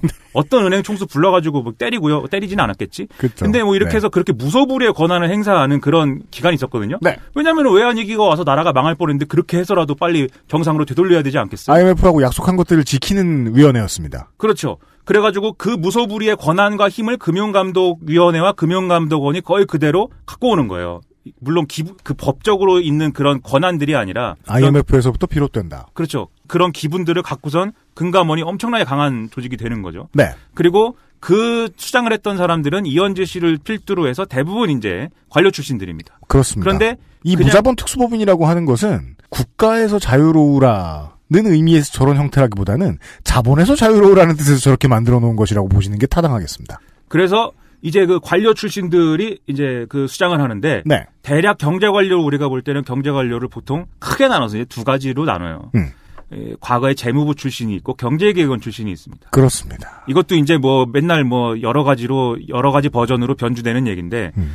경제기획원 출신과 재무부 출신이 특기가 달라요. 음. 경제기획원 출신들은 예산 짜고 앞으로 경제 정책을 큰 그림을 이렇게 갔으면 좋겠다. 음. 그런 계획 짜는데 능하고 음. 재무부 출신들은 세금을 어디에 매길 거냐 이런 음. 돈줄 얘기. 그 다음에 금융회사들을 어떻게 규제할 거냐 금융에 대한 얘기 이 두 가지에 강해요. 그래서 이 두 부류가 특기가 다르기 때문에 음. 지금 기획재정부 같은 경우에 차관이 1차관, 2차관이 있는데 음. 뭐 약간씩 뭐 임무를 다르게 주긴 하지만 대개 1차관은 예를 들면 경제개혁 출신 시키면 2차관은 뭐 재무부 출신 시키고 이런 형식으로 많이 합니다. 살짝 두 라인한테 돌려주기 형식으로. 그렇죠. 네. 그리고 이 둘이 워낙 사이가 안 좋아요. 왜냐하면 경제기획원이 큰 그림 그려놓으면은 재무부가 아 이거 현실적으로 우리 돈 문제 이런 것 저런 거 있어갖고 잘안 되겠는데요라고 그러니까 얘기하는 역할이기 때문에 제가 듣기로는 회사에서 기획자하고 총무부 그렇죠. 직원하고의 약간 차이. 그렇죠. 예. 그렇죠. 그런 분위기 있는 거죠. 사이가 안 좋아요. 옛날에 82년대 장영자 사건이 나가지고 재무부가 그때 잘못했다고 그래가지고 장영자 사건이 이제 금융 얘기잖아요. 네. 경제기획원 출신들이 대거 재무부에 꽂히는 일이 있었습니다. 그게 이제 경제기획원의 재무부 점령 사건인데 그때 재무부 출신들이 엄청나게 그 슬퍼하고 그런 기록들이 남아 있어요. 그 어디 나오냐면 강만수 전 장관이 쓴 회고록에 보면은 그것이 아주 치욕의 기록으로 남아 있습니다. 경제기획원들이 재무부가 점령되다니 이럴 수가 거의 식민조 식민지 조선인의 한 풀이가 거기 써 있어요. 그거 눈물 나면되고 눈물 없이 볼 수 없는 책이에요. 그 정도로 앙숙인데 네. 정권마다 이제 좀 힘을 쓰는 어떤 그 분들이 라인. 달랐는데 음. 이명박 때 이제 화려하게 부활한 거죠. 네, 재무부 그렇습니다. 출신들이. 그리고 금융감독원은 보통 이 재무부 출신들이 갑니다. 네. 이명박 때 화려한 화려하게 부활한 재무부와 금융감독원. 음. 그런데 97년에도 이 재무부 출신들 때문에 경제가 망했다고들 얘기했고 음. 이명박 때도 이 재무부 출신들 해가지고 모피 아들이 무슨 고환율 정책을 써가지고 경제가 망했다. 그러지 않았습니까? 네. 그래서 박근혜 정권 때는 다시 경제개혁원 출신들이 이제 또 득세를 해요. 음. 이런 변천사가 있는데 문재인 정권도 마찬가지입니다. 우리 처음에 그 인사할 때 음. 문재인 청와대 인사할 때 변양균 라인 뭐 이런 얘기 나왔었거든요. 네. 그 변양균 정책실장이 우리는 무조건 이제 신정화 사건 이런 걸로 기억을 하는데 음. 과거에 경제개혁원 출신의 그 라인이에요. 네. 그래서 어 사실 이번 정권에서도 이 김동연 부총리도 그렇고 대부분 이제 경제개혁원 출신이에요. 네. 지금 경제관리의 주류는 그래서 경제개혁원 출신입니다. 그러면 지금 금융감독원장이라는 직책은 어 재무부가 가야 되는데 네. 문재인 정권에서는 또 그러지 않았어요. 금융위원장은 재무부 가- 재무부 출신이 갔습니다. 네. 금융위원회라는 조직은 이명박 때 만든 거긴 하지만 어쨌든 방금 말씀드린 재무부의 특기 어, 금융 쪽의 어떤 그 산업의 어떤 방향이나 아, 그런 것들을 총괄적으로 큰 결정하는 그림을 만드는. 예. 금융위원장은 장관급이니까 장관급 조직이에요. 그 밑에 이제 금, 금융감독원이 통제를 받고 있는 거죠. 반관 반민의 조직으로서. 안 알려져 있는 부분이죠. 그래서 우리가 흔히 노무현 때부터 활약을 은근히 해왔던 그 사람들 모피아라고 부를 때는 주로 재무부 얘기다. 그라인 원래는 얘기다. 그렇죠. 네. 네. 원래는 그 얘기입니다. 오, 근데 저는 다 지금 처음 알았네요. 아, 그, 그, 그렇군요. 네. 네, 제가 공룡만 잡느라고 사람들이 뭘 하는지 잘 몰라가지고 공룡에 대해서는 제가 오늘의 금기어입니다. 아 그래요? 네. 공룡. 그 마지막으로 제가 공룡에 깃털이 있었대요. 저는 참 놀라운 일입니다. 돌아오세요. 예, 그 모피아인데 네. 예, 이 정권에서는 처음에 금융감독원장을 어, 약간 이제 박근혜 정권 때 하셨던 분이 좀 하다가 처음 임명한 사람이 누구냐면 최영식 씨예요. 최영식 씨라는 사람은 원래 그 하나금융 지주 하나금융에서 사장인가 하셨던 분입니다. 네. 관료 출신이 아니라 민간 출신인 거죠. 은행 출신인 거예요. 원래는 아까도 말씀드렸듯이 재무부 관료 출신이 돼야 되는데 은행 출신이 됐으니까 네. 금감원 내부에서도 놀랐을 것이고 또 그 재무부 관료들도 놀랐겠죠. 아니 민간 출신을 시켰네 이렇게. 근데 반쯤은 놀라고 이제 반쯤은 약간 안심인 게 그래도 금융권 출신이면 대략 아니까 아는 음. 사이니까 뭐 그래 뭐 최영식 원장이 하나 봐 이렇게 된 거예요. 근데 이제 그 나름대로 또 우리 문재인 정권이 개혁을 뭐 한다고 하지 않습니까? 그래서 그 어떤 채용 비리 그다음에 금융회사 지배 구조 개선 이런 것들을 막 추진을 해요. 이게 말이 어렵죠. 채용 비리와 지배 구조 개선인데 채용 비리는 쉽게 아는데 음. 지배 구조 개선이 뭐야? 네. 지금 이제 그 금융회사들의 음. 어떤 그 회장들 회장들이 막 3년임하고 뭐 그래요. 네. 3년임을 우리가 또 공정한 룰에 따라서 뭐 세 번씩 연임하고 이런 거는 뭐 있을 수도 있지 않을까 생각할 수 있지만 그것도 아닙니다만. 아닙니다. 예, 자기가 막 회장 추천이 막 자기가 들어가서 자기 세부 추천하고 막 음. 그러면 막 자기 반대파 반대파 회장 후보인 분은 막 어디 집에 보내버리고 막 이런 걸 막 하거든요. 음. 그래서 아주 엉망진창으로 이 3년을 해버린 게 하나금융지주의 김정태 회장이에요. 네. 이 최영식 원장과 최종구 금융위원장이 그런 식으로 3년임 하지 말라고 하는 뉘앙스를 좀 줬어요. 그리고 지금 이제 채용비리 문제 어, 생각나실지 모르겠는데 정의당 심상정 의원이 그 국회에서 제기를 해가지고 우리 은행당이 날아가지 않았습니까? 맞습니다.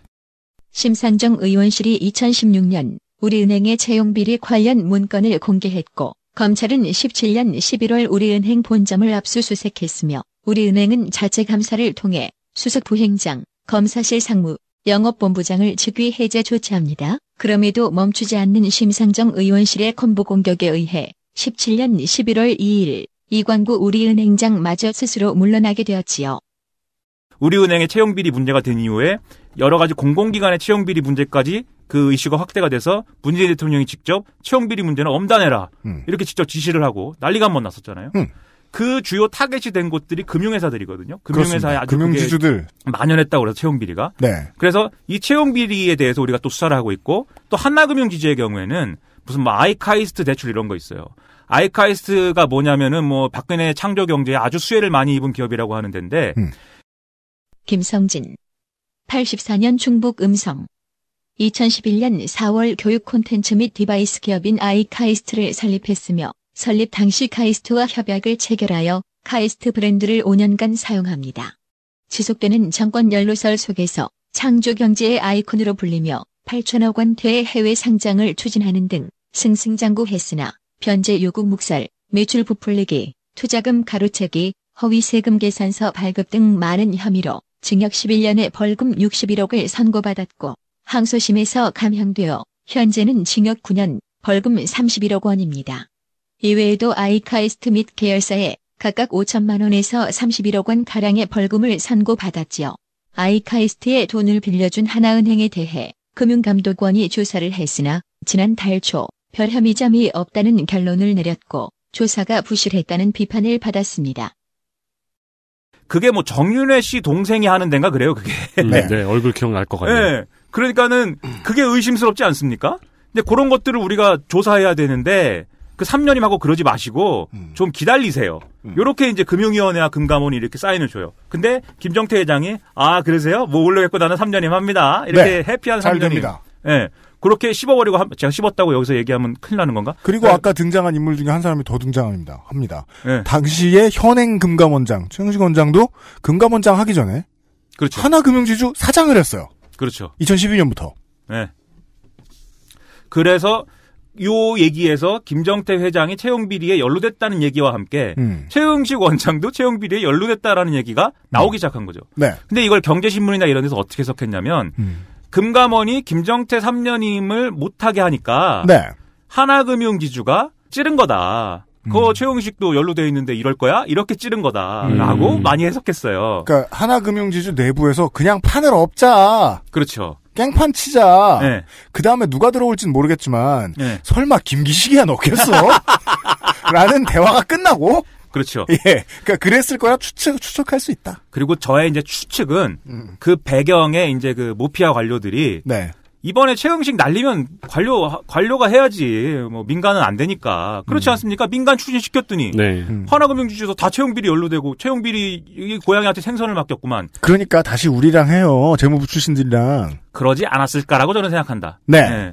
그런 그림이 된 거예요. 그래서 최영식 원장이 내려갔어요. 그래서 음. 집에 갔단 말이에요. 음. 청와대가 집에 가라 그래서. 그렇죠. 그러고 나서 이제 당연히 그러고 나면은 관료 출신을 시키면은 당연히 금감원은 그, 그 이후부터는 은행들하고 좀 얘기도 잘 하고 음. 조율도 좀 잘 하고 그렇죠. 해피한 분위기 만들지 않았겠어요? 해피엔딩 모두가 즐거운. 예. 원래 관료들하고 이제 그 금융지주사하고는 이제 조- 좋아하니까 네. 예, 싫어할 땐 싫어하지만 또 음. 그러니까 해피한 분위기 만들었을 텐데 청와대는 이제 김기식을 꽂은 거죠. 그래서, 그래서, 이제 재무부에서도 얘기가 된 거죠. 아 이번에 저 최영식 잘리면 네. 또 어디 금융지주 갔다 온 사람 안 칠 거야? 설마 그러진 않을 거 아니야 청와대에서. 네. 아 김기식이 안 치겠어. 우리 우리 갖다 쓰겠지. 네. 그래서 그 금융사의 엘리트들도 예, 이제 재무부 쪽에서도 아, 다 똑같은 생각을 한 거죠. 그렇죠. 이번에 판을 엎으면 유리해진다. 그렇죠. 그리고 들어온 것이 김기식. 네, 뭐다 추정입니다만 또 네. 어쨌든 금기식이라는 인물은 이 금융계 인사들이 싹 다 당황할 만한 인사였다는 거네요. 거의 긴장, 긴장, 긴장이죠. 그 김기식 슈퍼 빌런이 들어온 거죠. 네. 참여연대, 그니까, 다시 말을 바꿔야 되겠네요. 양쪽 모두, 그, 은행권이나, 저, 뭐냐, 저, 금융지주권이나, 아니면은 재무부 사람들이나 모두, 설마 참여연대 있던 사람 데리고 오겠어? 그, 그래! 하하하! 그럴 리가 없지 않은가! 하하하. 그렇죠. 네. 이건 원래 관료 자리이기 때문에 네. 전문성도 있어야 되고 평소에 하던 거 하던 그 각 뭐라고 해야 돼 가닥이 있어야 돼요. 네. 음. 그래서 시민단체 출신의 누군가를 시킨다는 생각은 사실 잘 하기 힘든데, 음. 어, 물론 그렇게 따지면은 다 마찬가지긴 하죠. 뭐 정책, 청와대 정책실장도 그렇고, 공정거래위원장도 그렇고, 뭐다 그렇긴 합니다만, 네. 어쨌든 간에 뭐, 금감원장으로 그런 사람이 올 줄은 몰랐는데 온 거죠. 음. 그리고 나오자마자 경제신문에 뭐라고 나냐면은 저승사자 왔다고 다 썼어요. 큰일 났다, 이제. 망국. 시리아 방성대국. 예, 그리고 이 사람이 오자마자 할 일이라는 것은 거의 이제 금감원 조직도 막 쪼갤 것이고 음. 왜냐하면 김기식 원장이 옛날에 국회의원 있을 때 이제 금감원 조직은 쪼개야 된다고 그래가지고 네. 그런 얘기들을 많이 했기 때문에 음. 그리고 금융회사 지배구조 개선 이 지배구조 개선이라는 게 음. 김정태 회장 3년인 같은 일을 못하도록 그렇죠. 이제 금융회사의 어떤 구조를 다 바꿔야 된다 이런 거를 칠 것이고 그다음에 채용 비리 이 채용 비리도 아주 엄단해가지고 지금 금융권에 있는 사람들은 다 감옥 갈 것이다. 그렇죠. 예, 우린 다 적폐다.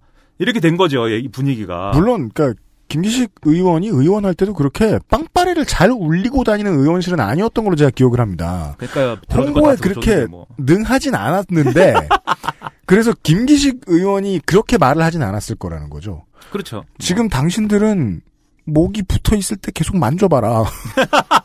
곧 잃게 될 것이다. 그렇게까지 얘기한 건 아닌데, 네. 관련자들은 이미 느끼고 있었다는 거죠. 그렇죠. 예, 사실상, 그니까 참여연대 출신이라고 제가 자꾸 말을 하는데, 저 사람들이 보기엔 시민이 들어왔다는 거예요. 그렇죠. 시민의 눈높이에서 보면 우린 죽었다! 예.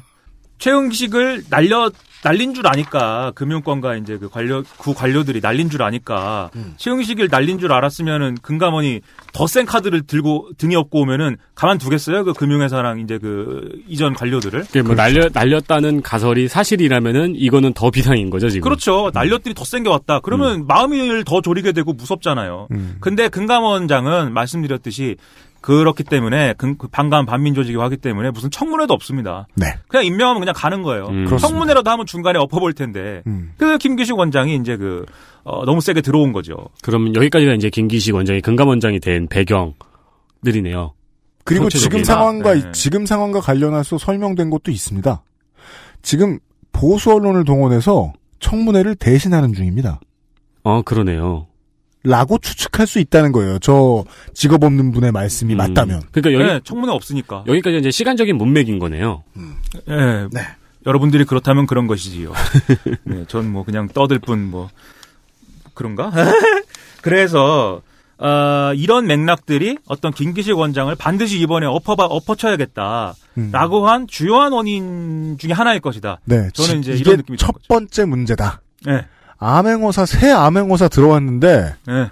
예 과거도 본 적 없고 그렇죠. 벼슬도 해본 적 없는 그렇죠. 상투도 안 튼 도령님이어서 나타났다. 네. 그것보다는 뭐 그런 거 아니었을까요? 새 암행어사가 왔는데 모르는 사람이야. 그렇죠. 전혀 큰일 네, 났어. 뭐. 근데 뭐 알긴 아는 사람인데 왜냐면 정무위 위원 했으니까. 아, 네. 아, 저, 뭐. 어 시민단체 있었어. 이런 충격. 네. 그래서 거기서부터. 이제 예, 네. 음. 참여연대 얘기 꺼내고 네. 신문에 도배를 하고 그렇습니다. 그리고 더군다나 이제 그 금융권에 지금 사건 사고 많으니까 아까 네. 말씀하신 삼성증권도 있고 네. 긴장 많이 되죠. 네. 그래서 이제 거꾸로 트리려고 하는 거 아니냐 음. 이런 생각이 좀 들고 이게 첫 번째 추측이고요. 두 번째도 있습니다. 네. 두 번째는 정치적인 거죠. 음. 지금 지방선거를 앞두고 있지 않습니까? 네. 지방선거를 앞두고 아주 그 혼란스러워요. 여러분들이 이제 선거를 많이 해보셨지만 선거 때 되면은 없는 얘기도 나옵니다. 음. 네. 그리고 옛날에는 옛날에는 그 동네에 주로 그런 이제 헛소문, 흑색 선전 이런 것들이 동네에 돌아다녔거든요. 네. 뭐 찌라시 갑자기 나타나는 찌라시 주민들의 어떤 자기들끼리 모임에서 떠오르는 어떤 소문 그런 네. 걸로 돌아다녔는데 요즘에는 뭐 카카오톡으로 다 돌아다니니까 카카오톡으로 뭐 거의 1분 만에 뭐 수천 명한테 돌아다니는 시대니까 내일 모레 그런 걸 좀 말씀드릴 겁니다. 예, 카카오톡에 누가 무슨 메시지를 받는 게 어떻게 디자인되어 있을까? 에 대해. 네. 옛날에는 저희 할머니가 어디 갈비집에서 밥 얻어 먹고 왔다고 저희 아버지가 화내시고 막 그러셨어요. 아 갈비집에서 받아먹었다. 네. 갈비만 얻어 먹는 게 아니라 수많은 소문을 얻어 먹는 그렇죠. 거죠. 네. 그 자리에서 무슨 얘기를 하겠어요, 막. 근데 그런 것들을 카카오톡으로 휙 돌리는데 아주 좋은 소재가 나타난 것이에요. 음. 지금 계속 보면은 우리가 뭐 가슴 아픈 얘기지만은 안희정 사건을 돌이켜 보면 음. 안희정 사건 때 아, 보수 언론 내지는 뭐 하여튼 모든 사람이 그렇게 얘기했습니다. 진보의 이중성 이런 거 얘기했어요. 음. 진보의 이중성이라는 게 뭐냐면 진보의 무슨 아이콘이란 사람들이 겉으로는 어 좋은 얘기하고 멋있는 얘기하고 세상 그렇게 도덕적일 수 도덕적인 저런 사람이 없는 그런 얘기를 하는데 뒤로는 온갖 부도덕한 일을 하고 뒤로는 자기 사익을 추구하고 뒤로는 온갖 그런 나쁜 짓을 한다더라. 이게 겉과 속이 다 나쁜 놈보다 겉으로 착하고 속이 나쁜 놈이 더 나쁘다. 이게 진보 이중성이다. 클래시컬한 양비론이죠. 예. 이런 식으로 엄청 떠들었어요. 그러니까 겉과 속이 일치하는 우리랑 다시 놀아. 그렇죠. 그런 얘기를 열심히 했는데 지금 김기식 원장 얘기 놓고 그 얘기를 하기가 아주 좋아진 거죠. 김기식 원장이 참여연대 같은 거 하면서 엄청 뭐 논한 논하는데 멋있는 척하고 그래서 그 멋있는 척으로 국회의원까지 된 사람인데 음. 국회의원 되고 나서 저렇게 신나게 그 외유성 출장이나 다니고 돈이나 돈이나 받, 사실상 받아먹고 이랬다. 그런 놈들이 다 참여연대래. 예, 참여연대 다 그렇다. 그 중에 누가 있느냐? 그 참여연대의 King of King이 박원순이다. 박원순한테 물어보자. 왜 물어봐? 예?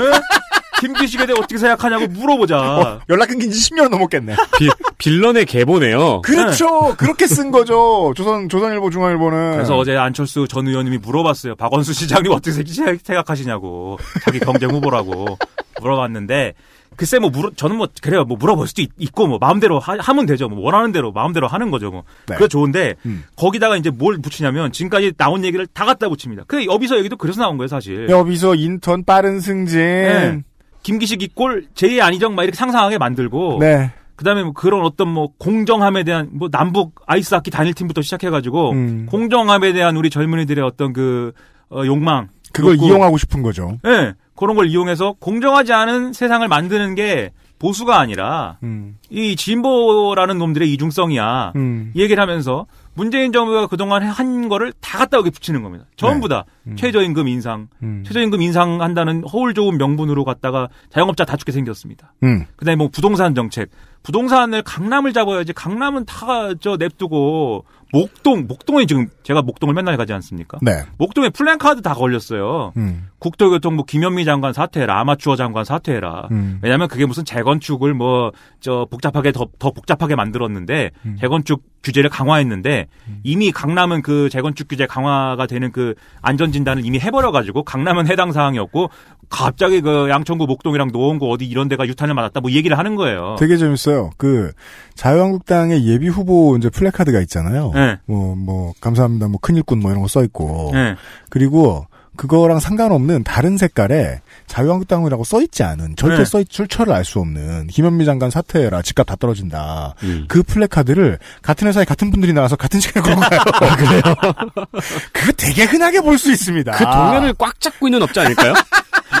독점 사업자. 진보건 보수건 현수막은 나에게. 현수막은 목동에서 현수막 걸고 싶으면 나한테 하래. 그게 아, 그거, 아, 그거 해볼 만한데? 그거 아- 알아봐야겠네. 혹시 아직 그, 지금 레드오션인가 그거?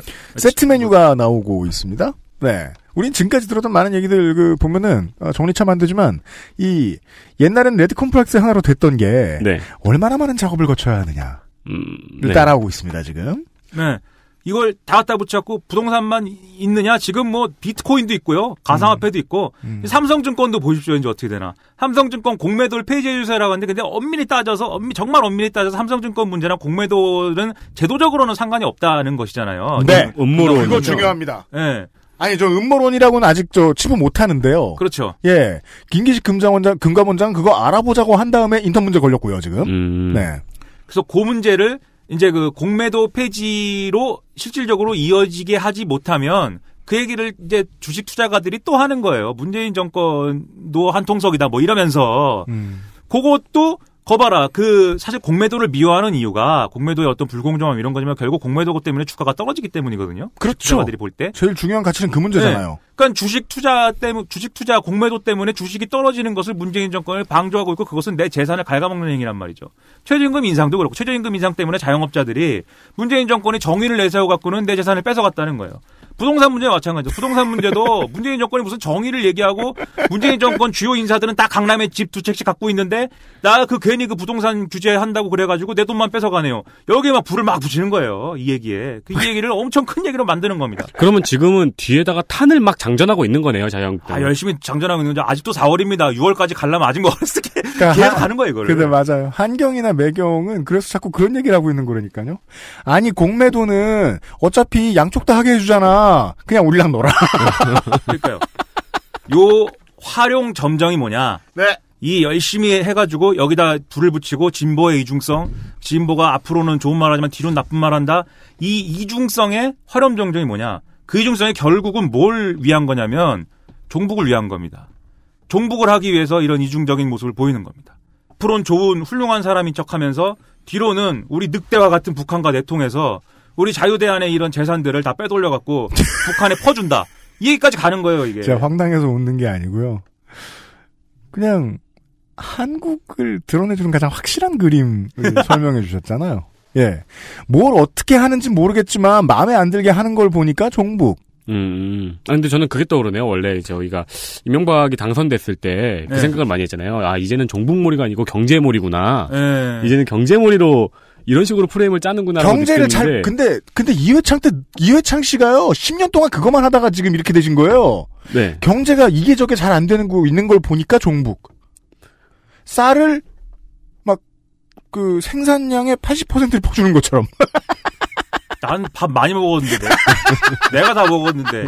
그걸 북한 사람이 아니고. 박근혜 전 대통령이 그 종북몰이로 한창 재미를 봤으니까 아, 예, 그럼요. 예. 이제는 이제 하이브리드된 하이브리드된 완결판이 나오는 거군요. 네. 그래서 요 종북 얘기만 하면 이제 사람들이 그냥 피식 피식 웃으니까 음. 종북 얘기하면 또 그 수작이다. 음. 또날 속이려고 그런다. 어? 종북 얘기했고 날 속이는구나. 음. 속이는 게 아니라는 거를 네 재산이 줄어드는 걸로 내가 보여줄게. 이렇게 해서 다 연결시키는 거예요. 재산 줄어드는 얘기랑. 교육 문제도 그렇죠. 교육도 정시가 뭐 어쩌고 저 그거 이제 중요한 문제. 학종이 어쩌고 중요한 문제인데 음. 교육도 문재인 정권이 뭐 잘못해가지고 우리 아이들이 부자가 못 된다는 얘기로 갈 거예요. 부자가 되려면 대학 잘 가야 되고 대학 잘 가야 대학 잘 가야 취직을 잘하고 뭐 이렇게 되는 거니까. 음. 그 마지막에 종북이 어떻게 나오냐? 아, 처음에 말씀드렸죠. 외교안보 블랙리스트부터 말씀을 드렸죠. 이 삼팔로스라는 사이트 북한이 싫어하니까 문재인 정권에서 문재인 대통령이 참여연대들을 시켜가지고 참여연대들 들어 갖고 그 어, 지원 끊으라고 했다 이 얘기를 하고 있는 거예요 지금. 그 아까 말씀하신 위성으로 북한을 보는 그 네. 연구소요. 네. 근데 지금 한참 다 이제 청와대와 이제 그 또 이제 그 열심히 언론들이 취재하고 이렇게 해명하고 이렇게 쭉 나온 걸 보면은 그 이제 삼팔로스를 운영하는 한미연구소라는 데는 아 물론 이제 삼팔로스를 통해서 좋은 활동 많이 했고 또 연구도 뭐 많이 했겠지만 네. 그게 이제 여러 가지 이제 그 방만 경영이라든지 불투명한 이제 그 어떤 운영이라든지 이런 문제가 실제로 있었다는 거죠. 음. 거기 이제 소장 자르고 싶은 소장 이름이 구재회 소장인데 누가 자르고 싶어? 그 문재인 정권이 자르고 싶어 한다라고 조선일보 등이 보도하는 네. 소장의 이름이 구재회 소장인데 네. 이 구재회 소장이라는 사람은 한국계 미국인이고 그 우리가 흔히 말하면 그 프로페서 아니고 폴리페서 있지 않습니까? 네. 폴리페서에 가까운 사람인 거죠. 그래서 음. 트럼프 행정부 입각 시도도 하고 뭐 그랬대요. 음. 이것은 제가 꾸며낸 얘기가 아니라 동아일보가 보도했습니다. 저희 음. 신문 열심히 보니까. 네. 그 동아일보가 그렇게 써놨어요. 그런 이제 정치적 강한 인물이고 그다음에 미국의 이제 그 어, 우리나라에 있는 주요 정치인들이나 주요 인사들을 이제 그 연구소에 유치해서 연구소에서 그러면 이제 체류 비용도 주고 뭐 어디 같이 데리고 다니고 놀고 뭐 이런 거 할 거 아니에요? 네. 소개도 시켜주고. 네. 그 방문 연구 연- 원구원 뭐 이런 거 해가지고. 그걸 통해서 로비를 해서 다시 한국에 반출한 다음에 한국에서 연구소에 예산 많이 주세요. 로비를 시켰다. 그런 일만 한다. 그리고 이 연구소의 애초 설립 목적은 어떤 미국 내에 한국을 연구하는 사람들을 늘리기 위한 어, 그리고 한국의 어떤 상황이나 한국 관련 정책 이런 것들의 전문가를 키우기 위한 그런 양성할 수 있는 연구소를 원했던 것인데 근데 그 목표는 안 하고 폴리패서 한 사람의 개인적인 영달에 도움이 되는 것만 그렇죠. 좀 많이 하는 편이더라. 그렇죠. 그리고 거기 플러스 어이 삼팔로스. 그럼 전- 그거는 예. 자유총연맹 돈 끊는 거랑 똑같은 프로세스일 거 아니에요. 삼팔로스는 좋아하는데 저도 삼팔로스 위성 사진 재밌어요 그런 거 뭐 그렇죠. 좋은데 에, 그 구제회 소장이 뭐 그랬다고 하는 거죠. 그리고 근데 거기에 대해서 구제회 소장 측이 하는 말은 이제 네. 뭐 내가 뭐 이재호만 불러서 이재호랑 친하대요 거기가. 아 그래요? 이재호만 불러가지고 방문연구원 시킨 줄 아세요? 양정철도 시켰습니다. 뭐 이렇게 얘기하는 건데 음. 그냥 뭐다 됐고 그래서 국회가 계속 이런 활동들을 그러면 당신이 애초 설립 취지에 맞는 활동을 뭘 했는지 자료를 내세요. 음. 그랬는데 뭐 2천 장, 3천 장 갖고 오긴 했지만 다 무슨 뭐 칼럼 쓴 얘기랑 뭐 어디 사업 뭐뭐 했는지 이런 내용들이고 돈 얘기는 딸랑 그 A4 한두 장으로 퉁쳤다. 와, 그럼 그 앞에 2,000장, 3,000장 쓰기 되게 힘들었겠네요. 아, 프린트 종이값만 많이 나오고. 아니, 원래 그 없는 걸 긁- 긁어내기 네. 얼마나 힘들어요. 예. 그래서 그 아무거나 막 넣은 그- 거죠. 그러니까요. 네. 그래서 나중에 국회가 이거 이러지 말라고 그랬더니 아 무슨 소리냐 보고 열심히 해야 된다 그러면서 USB로 줬대요. 그게 뭐 아무튼 그러니까 음. 그 굳이 구제회 소장 교체 청와대 이건 청와대 얘기입니다. 굳이 구제회 소장 교체까지는 안 할 테니 음. 개선을 마련해 보라 보라라고 음. 지금 국회가 얘기하고 있어라고 의견을 전달했는데 얘기가 이렇게 됐다거든요. 음. 근데 아무튼 한미 연구소도 이제 그런 문제점이 있으니까 음. 그래서 개선하자라는 얘기였지만 보수 언론과 보수 세력이 하고 싶은 말은 그것은 니들이 종북이어서 38로스를 없애려고 한 것이다. 김정은의 지시를 받고. 음. 그렇죠. 그 얘기를 지금 제가 하느냐 김문수가 합니다. 네. 김문수 어저께 김문수라고 하면 안 되고 김문수 전 지사님이 어저께 음. 에, 이걸 녹음하고 있는 이 시점에서 어저께 출마 추대도 하시, 되시고 뭐 이렇게 출마를 공식화하셨는데 네. 금감원 앞에 가서 1인 시했어요. 음. 1인 시 하는 건 뭐 그럴 수 있다고 치자고요. 뭐 갑질 외유 뭐 김기식 사퇴하라 이렇게 했는데 그러면서 하는 얘기가 김기식은 김일성주의자고 금융의 전문성 없는 김일성주의자를 이렇게 꽂은 참여연대 출신이라고 꽂은 청와대의 어떤 나쁜 짓이다 이런 얘기를 막 한단 말이에요. 그거는 힌트가 되네요. 김문수가 지금 저쪽의 전략을 투명하게 자랑하고 다니고 있다는 말씀이셨습니다. 네. 예. 그리고 어, 어제 신문 이건 신문에 많이 안 나왔는데 음. 어제 안철수 전 의원 기자회견했어요. 기자회견에서 방금 말씀드렸듯이 박원순 시장 얘기했는데 처음에 이제 기자회견 하기 전에 무슨 원문 같은 거 인터넷에 올리잖아요. 거기 보면 참여연대 얘기가 있어요. 음. 참여연대 출신이면 다 용서됩니까? 어, 뭐 이런 얘기가 막 써 있어요. 그 참여연대 프레임을 갖고 온 거죠 안철수도. 네. 근데 에, 실제 얘기할 때는 그걸 뺐는지 나중에 그걸 막 수정했더라고요. 음. 뺀 걸로. 근데 페이스북에다 올려놨는데 페이스북이라는 데가 그 조그만 거 누르면 수정 내역이 나옵니다. 오타를 볼 수 있죠. 수정 내역을 보면은 그 참여연대 한 문단이 있는데 없어졌어요. 청취자 여러분들도 그 패친들의 그 수정 내역을 한번 보시면은요 허세가 조금씩 줄고 있는 걸 보실 수 있어요. 그러니까 여러분 수정 내역을 있으니까 수정하지 마시고 지우고 다시. 음. 그래야 됩니다. 이거는. 네네네. 그렇죠. 그, 그러면 제가 이제 저 같은 사람이 갖고 있는 의심은 야 이게 안철수 후보는 아, 이 참여연대까지만 얘기하고 음. 김문수는 거기다 플러스 종부까지 얘기하는구만. 그래서 요게 이제 지방선거까지 가는 과정에는 아주 좋다 이거죠. 음. 이 지방선거까지 가는 과정에 무슨 뭐 남북 정상회담도 있을 것이고 음. 남북미 무슨 정상회담도 있고 하지 않겠습니까? 이런 과정을 다 갔다가 아, 이런 식으로 종북 얘기로 포장할 것이고 음. 거기에 하나 덧붙이는 게 개헌이죠. 개헌인 개헌안이라는 것이 뭐 6월 지방선거에 투표를 하느니 마느니 하는데 음. 개헌안을 갖다가 지금 자유한국당은 사회주의 개헌안이라고 하잖아요. 그렇죠. 여러분들이 저에 대해서 잘 모르시지만 저도 사회주의자를 자처하는 사람인데 네. 사회주의자도 자처하고 뭐 좌파도 자처하고 좋은 건 제가 다 자처하는데 그것이 어떻게 사회주의 헌법입니까? 저는 그거 말도 안 되는 소리를 하고 있어요. 근데 음. 사회주의 헌법 무슨 저 투쟁위원회를 만들고 대장을 뭐 김무성이 하고 뭐 자기들끼리 분위기 굉장히 좋아요. 홍준표가 하고 음. 계급이 대장이에요? 뭐 행복하면 게 좋긴 한데 자기들끼리. 예, 참여연대를 비롯한 운동권들이 어, 내로남불만 열심히 해서 결과적으로 북한 퍼주기 하는 어, 문재인 정권 심판하자라는 기조로 쭉 가는 과정이라는 거죠. 거기에 지금 김기식 원장 사태가 불을 붙이고 있다. 그러니까 지금 김기식 원장에 대한 공격은 지방선거로 가는 자유한국당의 카드 한 장을 지금 깐 거다. 먼저 그렇죠. 그. 카드가 좀 큰 카드죠. 근데. 음. 네. 그 카드를 봤더니 나머지 흐름이 잘 보인다. 음. 네. 근데 저는 이제 첨언하자면 저는 이제 좀 철없이 얘기하자면 저는 뭐 김기식 원장이 그만둘 수 있다고 생각해요. 그만둘 수 있는데 만약 그만둔다면 저는 이제 그리고 어떤 면에서는 그만 김기식 원장이 그만두는 게 앞으로의 어떤 그 우리 사회를 더 좋게 만드는데 어떤 신호도 될 수 있다고 봅니다. 제가 그만두지 않으면 제가 뭐 문, 청와대를 부시겠다 이게 아니라 에, 그 정도 흠이 있는 사람도 우리는 저 잘랐다 이걸 보여주는 어떤 뭐 요소도 될 수 있다고 봐요. 물론 이제 그럴 경우에는 예, 모피아가 아니라 더 센 저승사를 차자를 데리고 와야 되는 거죠. 더 센 저승사자를 데리고 와서 금감원장 안 치고 음. 거의 이제 뭐 금융회사들이라든지 그다음에 그동안 금융회사들이랑 짝짝꿍했던 이런 관료들을 다 그냥 청산하고 이런 분위기를 이런 기조를 잃지 말아야 된다. 밀면 밀리는 정권 돼서는 안 된다. 저는 이제 이런 생각도 하고 그랬다라는 거죠. 제가 이제 음. 집에서 집에서 이제 공룡 얘기 하지 말라고 그랬으니까 쥐들이 일 시키다 보면은 이런 생각도 하고 그럽니다. 알겠습니다. 네.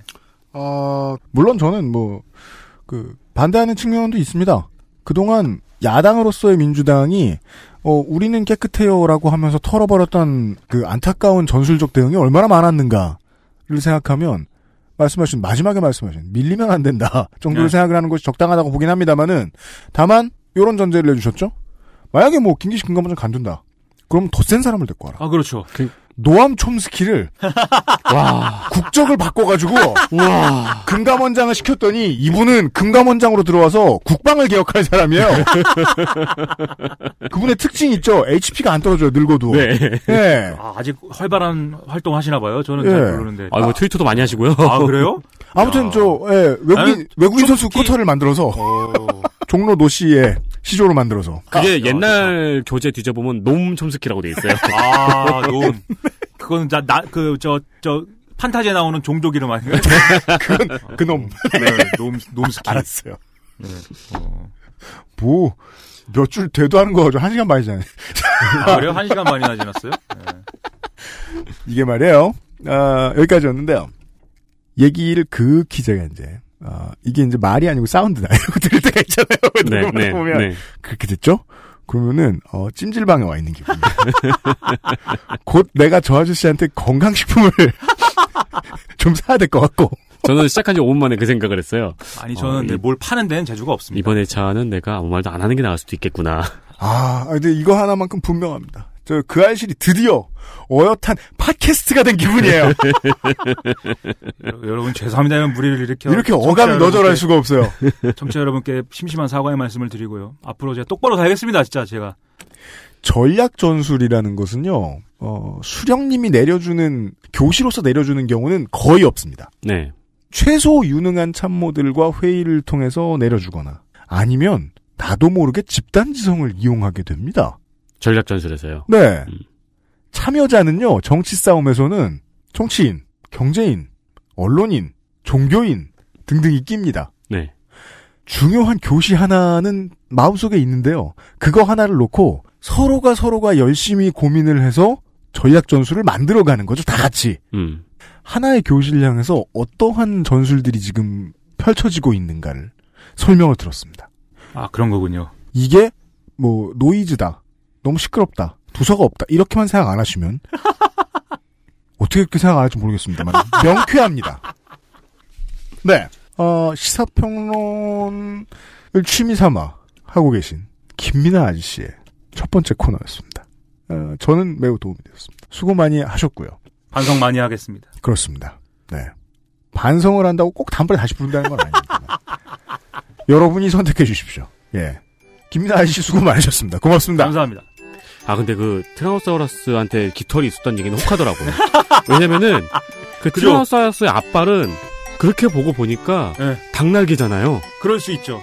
근데 요즘에 또 다수설은 아 그 날개까지는 없었을 것이다로 조금 음. 공룡도 야 그것은 알기 싫다는 한국에서 처음 만나는 반값 생리대 29데이즈에서 도와주고 있습니다. XSFM입니다.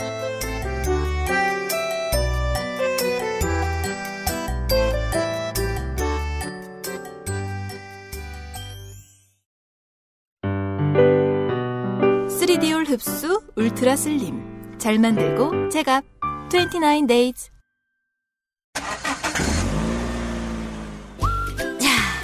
출발할까? 근데 엄마, 우리 차에도 블랙박스 있어?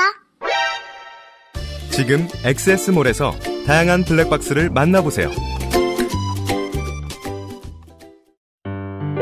유해물질 무첨가. 잘 만들고 체갑. 29 days.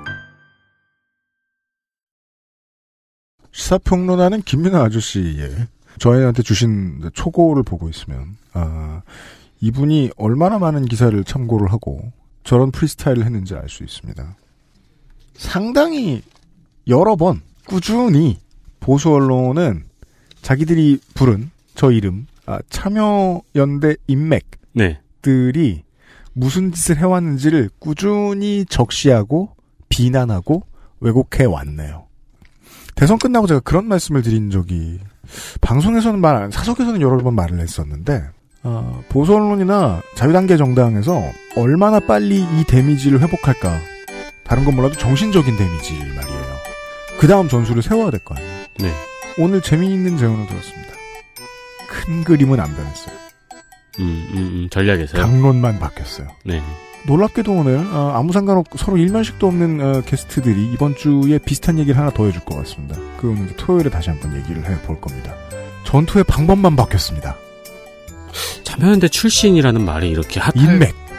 음, 참여연대 인맥. 아, 그러니까 출신이란 말도 핫하잖아요. 네. 그러면 참여연대란 이름의 산부인과를 하나 차리는 것도 뭐? 그러면 참여연대 출신이 많아지니까. 네. 게스트 하나 이상한 사람 나왔다고. 어, 원래 안 저러도 내가. 당최 해석이 안 되는 드립을 치고 있습니다. 그것은 알기 싫다 268회 목요일 순서를 마칩니다. 내일 이 시간에는 사법부 블랙리스트 문제와 관련된 첨부 해설 같은 방송을 준비했습니다. 네. 입법부가 이 문제를 어떻게 바라보고 있는가. 국회의원과 함께 이야기를 좀 해보도록 하겠습니다. 유승균 PD와 윤세민 에디터 물러갑니다. 드느라 수고하셨습니다. 내일 뵙죠. 안녕히 계십시오. 네, 감사합니다. XSFM입니다. I D W K